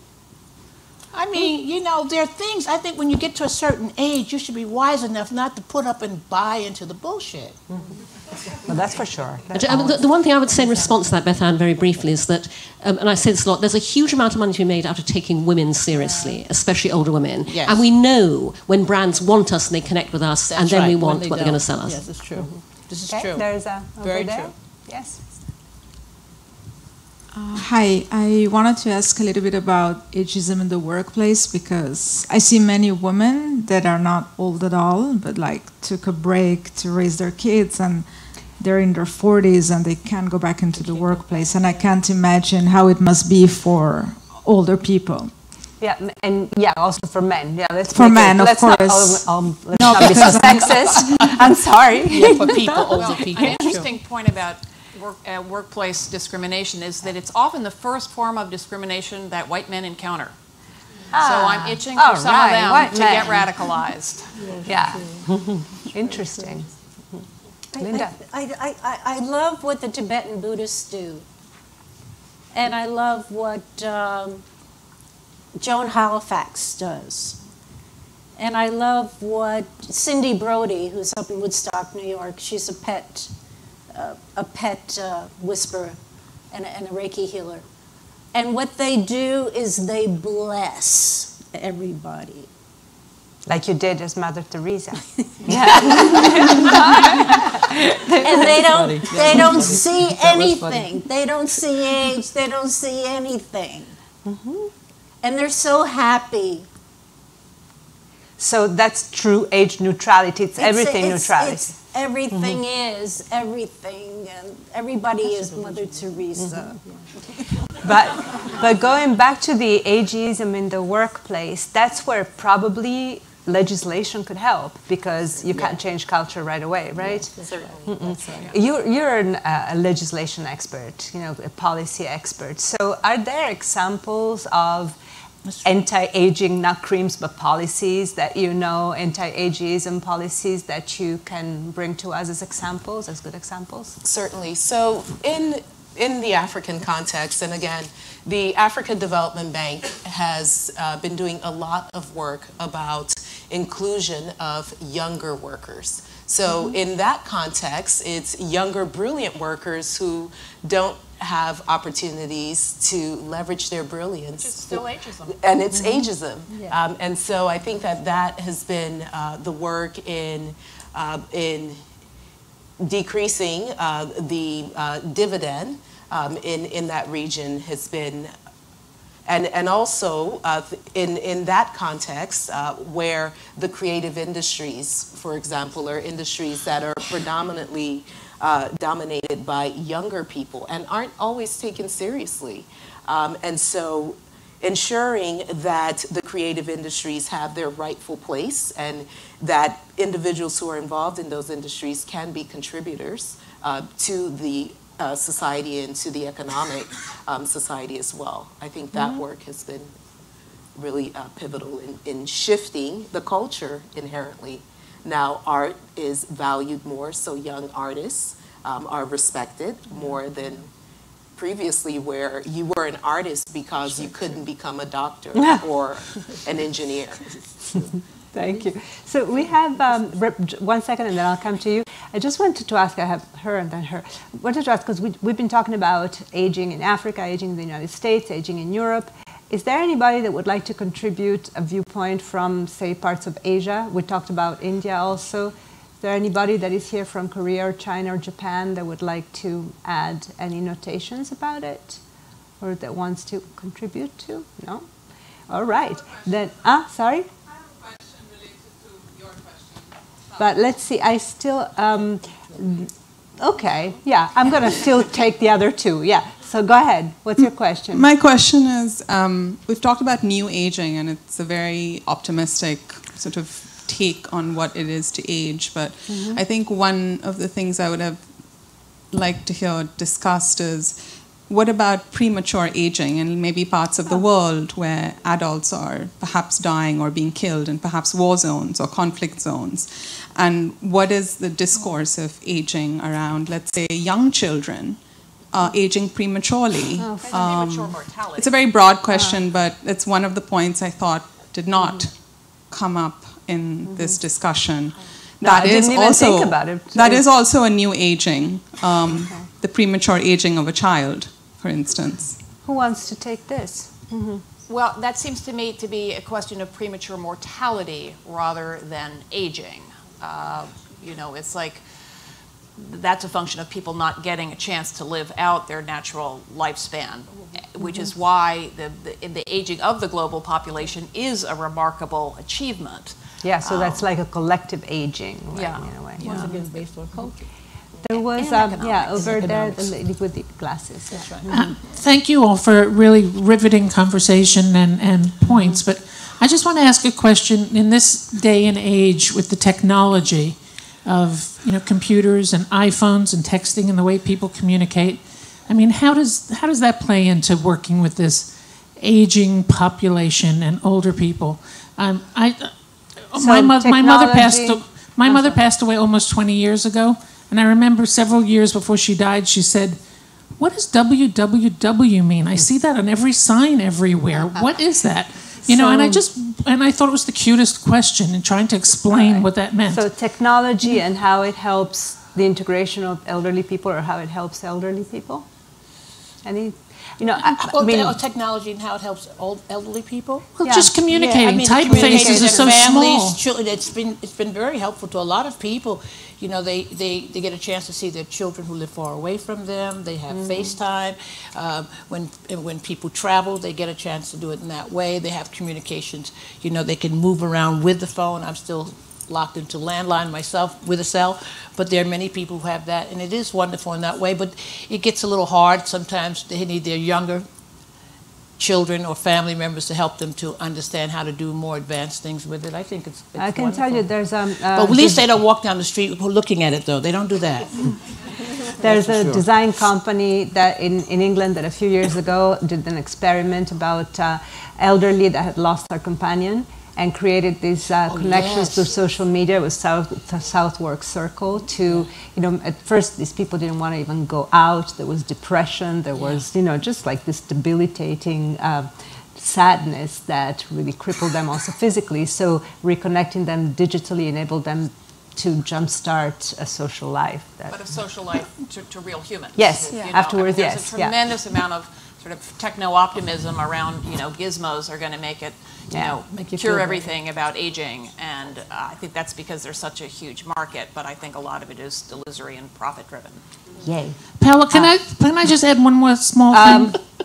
Very small. Uh, typefaces. How do we change that people can read Oh. things? Older people on That's for labels education. and iPhones. But that's a whole big deal. And now we have another question there, but we'll get that's that's huge. I know. But yeah, over here, Michelle. That's like. Uh, you can talk really loud. Yeah, it's coming to you. Yeah, here it is. We believe you. And then there. Um, This is more for Carly. I have a question about the built environment and accessibility. Does any of your work involve dealing with the public space like sidewalks, transportation, Yeah. parks, park benches? Exactly. Yeah, I'm mostly focused on the public realm and looking at um, how maybe in policy where that those in between spaces are sometimes missed and Mhm. sometimes in the standards too. Um, but also looking at like specific things like armrests and, and sort of trying to explain to designers like why not add that when it helps so many people. It's, it's sort of make, giving people awareness of it that it, it can still be the great design you were thinking of, but just having that there, you know, really makes it more beneficial to everyone. So I'm, those are the sort of the, the realm of architecture that I'm, I'm most interested in working on and, and bringing more awareness to the, the benefits of access. Does,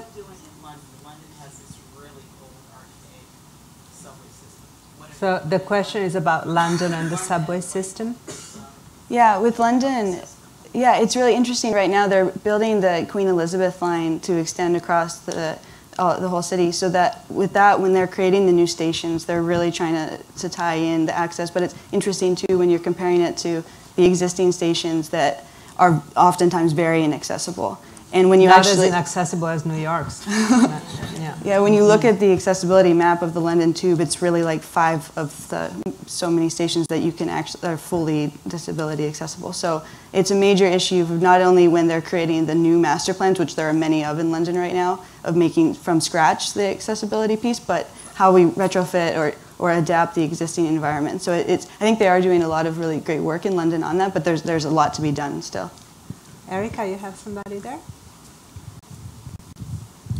Thank you all so much for an insightful panel. When I heard someone talk about the World Health Organization and thinking about how that could be problematic as it as in terms of how they think about aging and health, uh, have you all been engaged with the United Nations Sustainable Development Goals, 17 goals to transform the world, and one of them happens to be working with cities, and then now I'm thinking that all the goals might should have an agenda looking at ageism. So, Ashton? No? We actually, we have an expert in the audience who works on Where? exactly that. Yay. Um, Mhm. There you are. Yeah, I know. I was looking at you exactly. Yeah, let's give her the. What I am, I'm not sure I'm an expert, but I'm a sponge in getting all of this information. Hi, Carly. I'm Kathy Klein, and I'm actually the co-chair for a group called um, the General Assembly Partners Civil Society for the upcoming Habitat. And we made a huge difference and still remain relatively invisible no matter what the demographics show. But there are opportunities, and I'm going to bring your examples, Carly, to Kuala Lumpur in two weeks where there's a chance to talk about how do we actually see implementation, successes and challenges with the new urban agenda, which is the document that came out of Habitat 3 a year and a half ago. I know there has been serious critique of the World Health Organization for leaving older people out of the, their sustainable development goals. Mm-hmm. Need to change culture, yeah. Oh, there's a, oh, Nancy? Yeah, lady over there in the middle. Hi, thank you everybody. Um, This has been incredibly, incredibly insightful. I know several of you. Um, one thing about the new aging that we haven't really, we've touched on, but we haven't really gotten into is it's not just getting old, but getting very old. This is sort of a brave new world. There are a lot of people living into their 90s. Yeah, not the young old, but the old old. Right. My, my mother's 96. And to Paola's earlier point, um, she has late onset on Alzheimer's. Two years ago, she failed every neurological test. She's been going to Meet Me at MoMA, um, Metascapes, all these programs at museums. And I take her everywhere. I took her out to Colorado. I mean, I drive her around. She doesn't ski, but um, it, it's amazing. Two years later, she aced her test. And I asked the doctor if it was a misdiagnosis, and he said no, but you can stimulate the parts of the brain that are still working. And so I guess my challenge to all of you is we are living to be older and older and older than, than previously. And people today think of getting old just shoving them into an old age home or going to visit grandpa.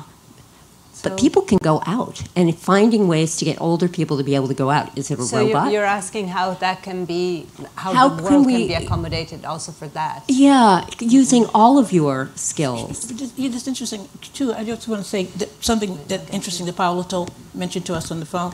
You said, you know, I was talking to you about films and stuff like that, and you said, and I talk about my age, and you said, yes, I've just left a woman the other day that did her first documentary at the age of 90. Oh yeah, Joan Kron. No, I mean, that's yes. Joan Kron is this amazing. She just turned 90, and she just distributed her first documentary, and it's pretty good a movie. Yeah. Yeah, you so, know, so and I- she's I- and working I- on the next. Yeah. And just adding to that, it's just so wonderful to know that you, you know, I worry too, like, okay, I have to, you know, I'm, I'm all about making a plan. You know, if you loved your life coming in and you did it, you better be the one to take care of your life going out. And I think when you're saying that, you know, I used to say, God, I don't want to live until I'm 90 because I'll probably outlive my money and then who's going to take care of me and what would I, you know, I, I, I want to be active. So, you know, I start boxing, I'm doing everything because I want to just take care of me and probably hang out with you and your mom. And, and at the end of the day, you know, you just want to be live, right? Yeah. Linda, oh sorry, it was Linda was also. I, I'm, not, I'm not an expert in dementia care, but I do know that in the you know progressive end of the field, there is you know enormous efforts towards keeping people with Alzheimer's in the community as much as possible, and to destigmatizing it. I mean, even to have the diagnosis be you know you can't diagnose Alzheimer's until you're autopsied actually. So to not again. A, a theme everywhere is, you know, that these binaries between old and young or disabled and not, you know, able to, are, are false. And likewise with dementia, that there's Mhm. an awful lot a person with dementia can do, especially if we're not, if we're less afraid of it, and if we are, you know, like you, energetic and courageous enough and generous enough to integrate them into your life and your social circle. Linda, you wanted to say something? Yeah, I, I, I, I'm, I, I, I'm into certified nursing assistants and caregivers as being the saints. Yeah. Those Agreed. are our saints. Yeah. Let's let's give it up. Give it up. Ultimately, I think there's a lot we can learn from other battles that have been fought and are still being fought. I'm, I'm thinking of the idea of spectrum when it comes to autism, and when it comes to, in Italy, you don't say disabled, you say differently abled, which is kind of cute, but it, it's also very deep. But, I, but, but I feel that the CNAs and the caregivers are the new something. we love them, yeah. The new, the, the new design. They're the new cool. The new, they're the new cool. And for them to be trained in mindfulness, for them to get a good wage, for them to, for them to be given a You're so massage right, a yeah. week themselves, for them to, Yeah, to, to that's right. benefit. Yeah. For these are the people.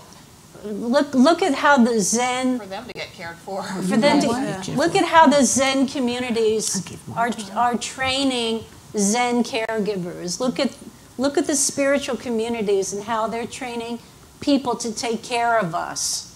Mm-hmm. Yeah. There- Erica, you have there's one? there's something there. Yes, I, I was thinking about the way cultural changes occur and the important, importance of language either as a trigger to cultural change or as a, something that reflects cultural changes that has occurred.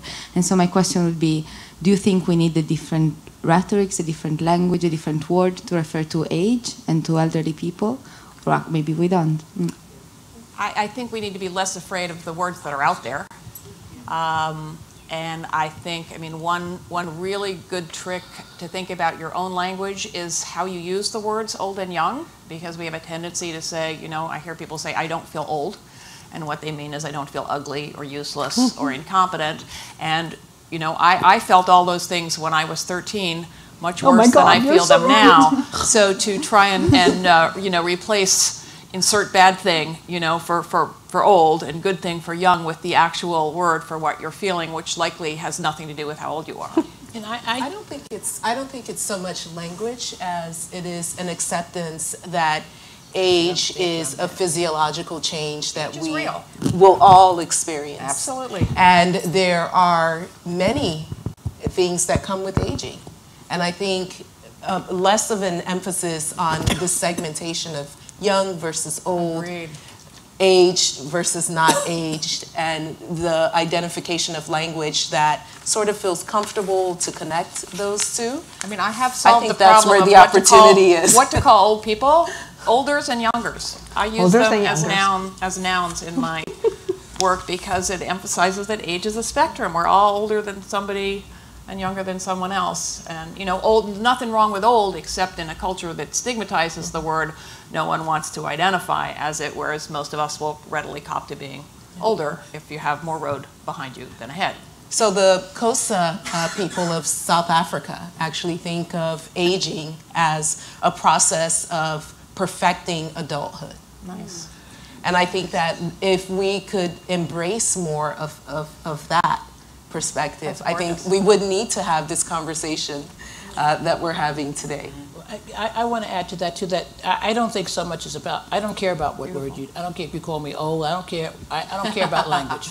I really don't. I never but I do think it's so important to get to know older people. I think it's important for older people to have that experience of young, other people coming to know them. We we as you've said all of you pretty much have said people sort of disengage from the elder the people are older because they think they have nothing in common with them. But I think it's so many great things you can you can give to them and you can gain from having getting to know. I, I love when young people say, "Oh, I have a girlfriend." Somebody who's in their 40s says, "I I have a friend who's 80." I love that. That's that to me is real. cool. That's cool.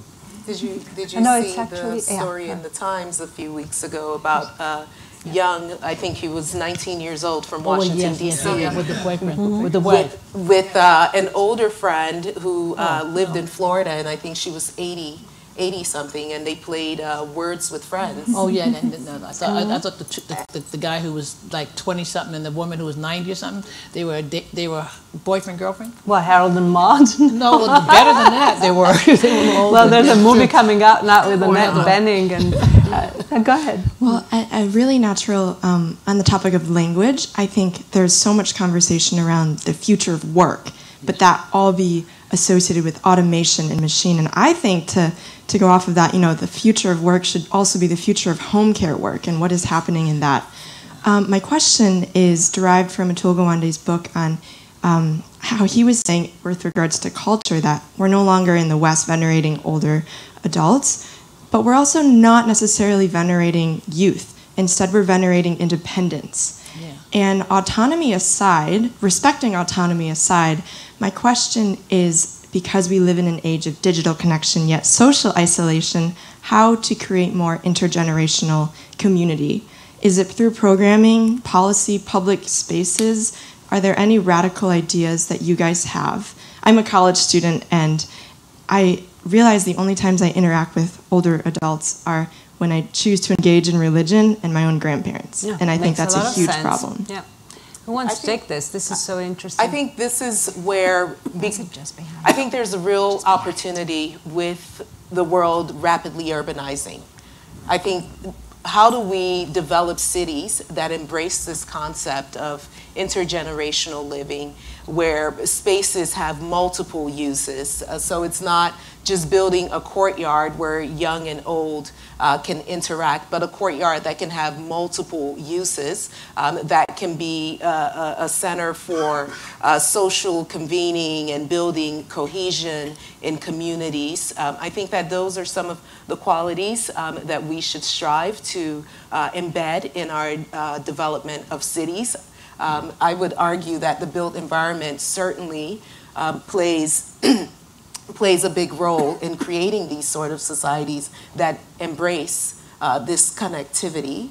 Yeah, and I make the personal side of that, the radical act, and it shouldn't be radical, is to seek out relationships with people much, in your case, because you're fairly young, much older than you. I mean, and I know that's, you know, that, that seems like a hard thing to do. It has to be an authentic connection, but think of something you like to do, whether it's reading or hiking or butterfly collecting well, I'm sure that's politically. But how, how does she um, find them? You know, but how does she even find she them? She thinks of something she likes to do, and then finds, you know, Meetup or Facebook or mm, whatever, or a campus group. Yeah. I mean, campuses do have a bunch of activities. Find a mixed age group to do it with. When I or, went, yeah, when I got to London, I was looking to meet older people to um, talk about my research with and just hang out with them and be friends. And the Barbican, I think, was a great center for that because the plaza was surrounded by a mix of uses that had galleries, libraries, uh, shows, and of all different types. So it brought a lot of people there. And then in the library, I stumbled upon a knitting group that was full of all ages because knitting is a great example. Yeah, because they taught us how to knit, and, and anyone could show and up, and it was free, talk, and yeah. and those like non-consumer public space and events are super great for that. And then so that was one example where I found my friend Lena, who's 92 and lived in the Barbican, so I got to learn about the history there with her. And then the other example was seeking out one of my interests. So I was looking at this architecture group that was with through the Building Exploratory, and they happened to have a lifelong learning program. So then I got to go and look at London with a group of 65 plus older adults that were many like experts in different realms of the field. But, but yes. do you think it's because you're just you two either it's because you're you're an old soul, um, and that maybe that's the reason why. Because a lot of people, I mean, what you're asking, I, I, I missed it. I thought I was understanding something else you were asking. Um, but do you think it's really? Don't you think that's because you're special? I mean, because that's no, not. Oh, I, because there's not many. I mean, she's special, but yeah. as an architect, you yeah. look for the real. Yeah. I mean, if you're a good architect, yeah, yeah, yeah. So you look for the opportunity to develop something new. That's to right. Add to and the you, world. And you and you and you're a sponge for information for wherever for it comes. yeah, you're like not here now. You're, you're a sponge of, where, where, where, wherever you can get the knowledge, you're grabbing it from. But but it's true when you're saying as a college kid. I mean, you got the college thing down. You see it around you, right? But how is it that you're going to begin to change what's happening amongst your own generation? That's what I thought you were asking. I see. Yeah, yeah. I'm not so off. Linda, you wanted to say something? Yeah, I, I live uh, 10 minutes from Woodstock, New York. And Woodstock, New York, Woodstock is not over, believe me. Definitely. Woodstock. I'm in Saugerties. It's definitely oh. not. oh, my God, we're neighbors. Yeah. Um, Woodstock has parades they have Thanksgiving. so they have Christmas. They have they Halloween. Have Halloween, Halloween parade. Yeah. They, and everybody. Gay pride. There. Do they have they gay pride? Have, they have poetry night. they have square dancing. They have the elders theater group. And they still have barefoot people They walking have around. dancing. Are you inviting her there? We're all invited. So Yeah. it's it's inevitable. So so why don't we make more small Communities. this? All right, so we're gonna we're gonna create a few online opportunities. Last question from Brief you, and comment. then we'll go drink. First to the young lady in front of me. Everywhere I go, I ask people questions. I don't step out of my life. If I'm in a museum, if I'm on the bus, I ask people of different ages questions about what they think about what we're living through in that moment. And it engages me with people of different ages. Yeah. First, um, two comments very briefly. In my work, my research, I work on food and faith largely in Brazil. I work with a lot of people who are older, women generally of 50 to 100 years of age and I've learned who practice African traditional religious uh, religions, and they say they look forward to being an ancestor. So even if they get diagnoses of hypertension as African descendants, the idea of death is inviting because they can come back and be an ancestor, Yes. which is very intriguing. Yeah. And lastly, my, both of my parents are deceased and died at home. My mother had dementia and many diseases. My father and I took care of her.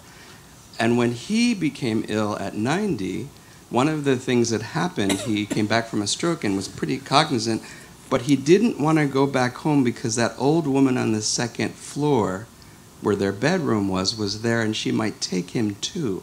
And so mm. his very intelligent man, but the rhetoric of aging, ageism got to him because he equated this place that he didn't want to go to, and yet when I tried to invite him into my life, he didn't want to be a burden to me. And last but not least, my mother's, uh, my aunt, when in her 80s, said, I don't want to be like those old people. And it took her dying to make me understand that she meant elderly. So you're thinking, you're saying that it crosses, it's That- just an embedded. It's so embedded prejudice. That we need to really, the rhetoric really matters that. uh, Well, I would say that this is a good closing. You know, we know, you know, we've talked about it for two hours. We heard wonderful contributions, but still, there's a lot of work to do to make it become a spectrum and not anymore a barrier. But I, I want to thank you because you were fantastic. I really Thank learned you. a lot. And thank you. And please, please stay on. There's going to be our usual mediocre wine and great conversation outside. and uh, February 28th is going to be protest. Yeah. Mediocre wine and great conversation. I live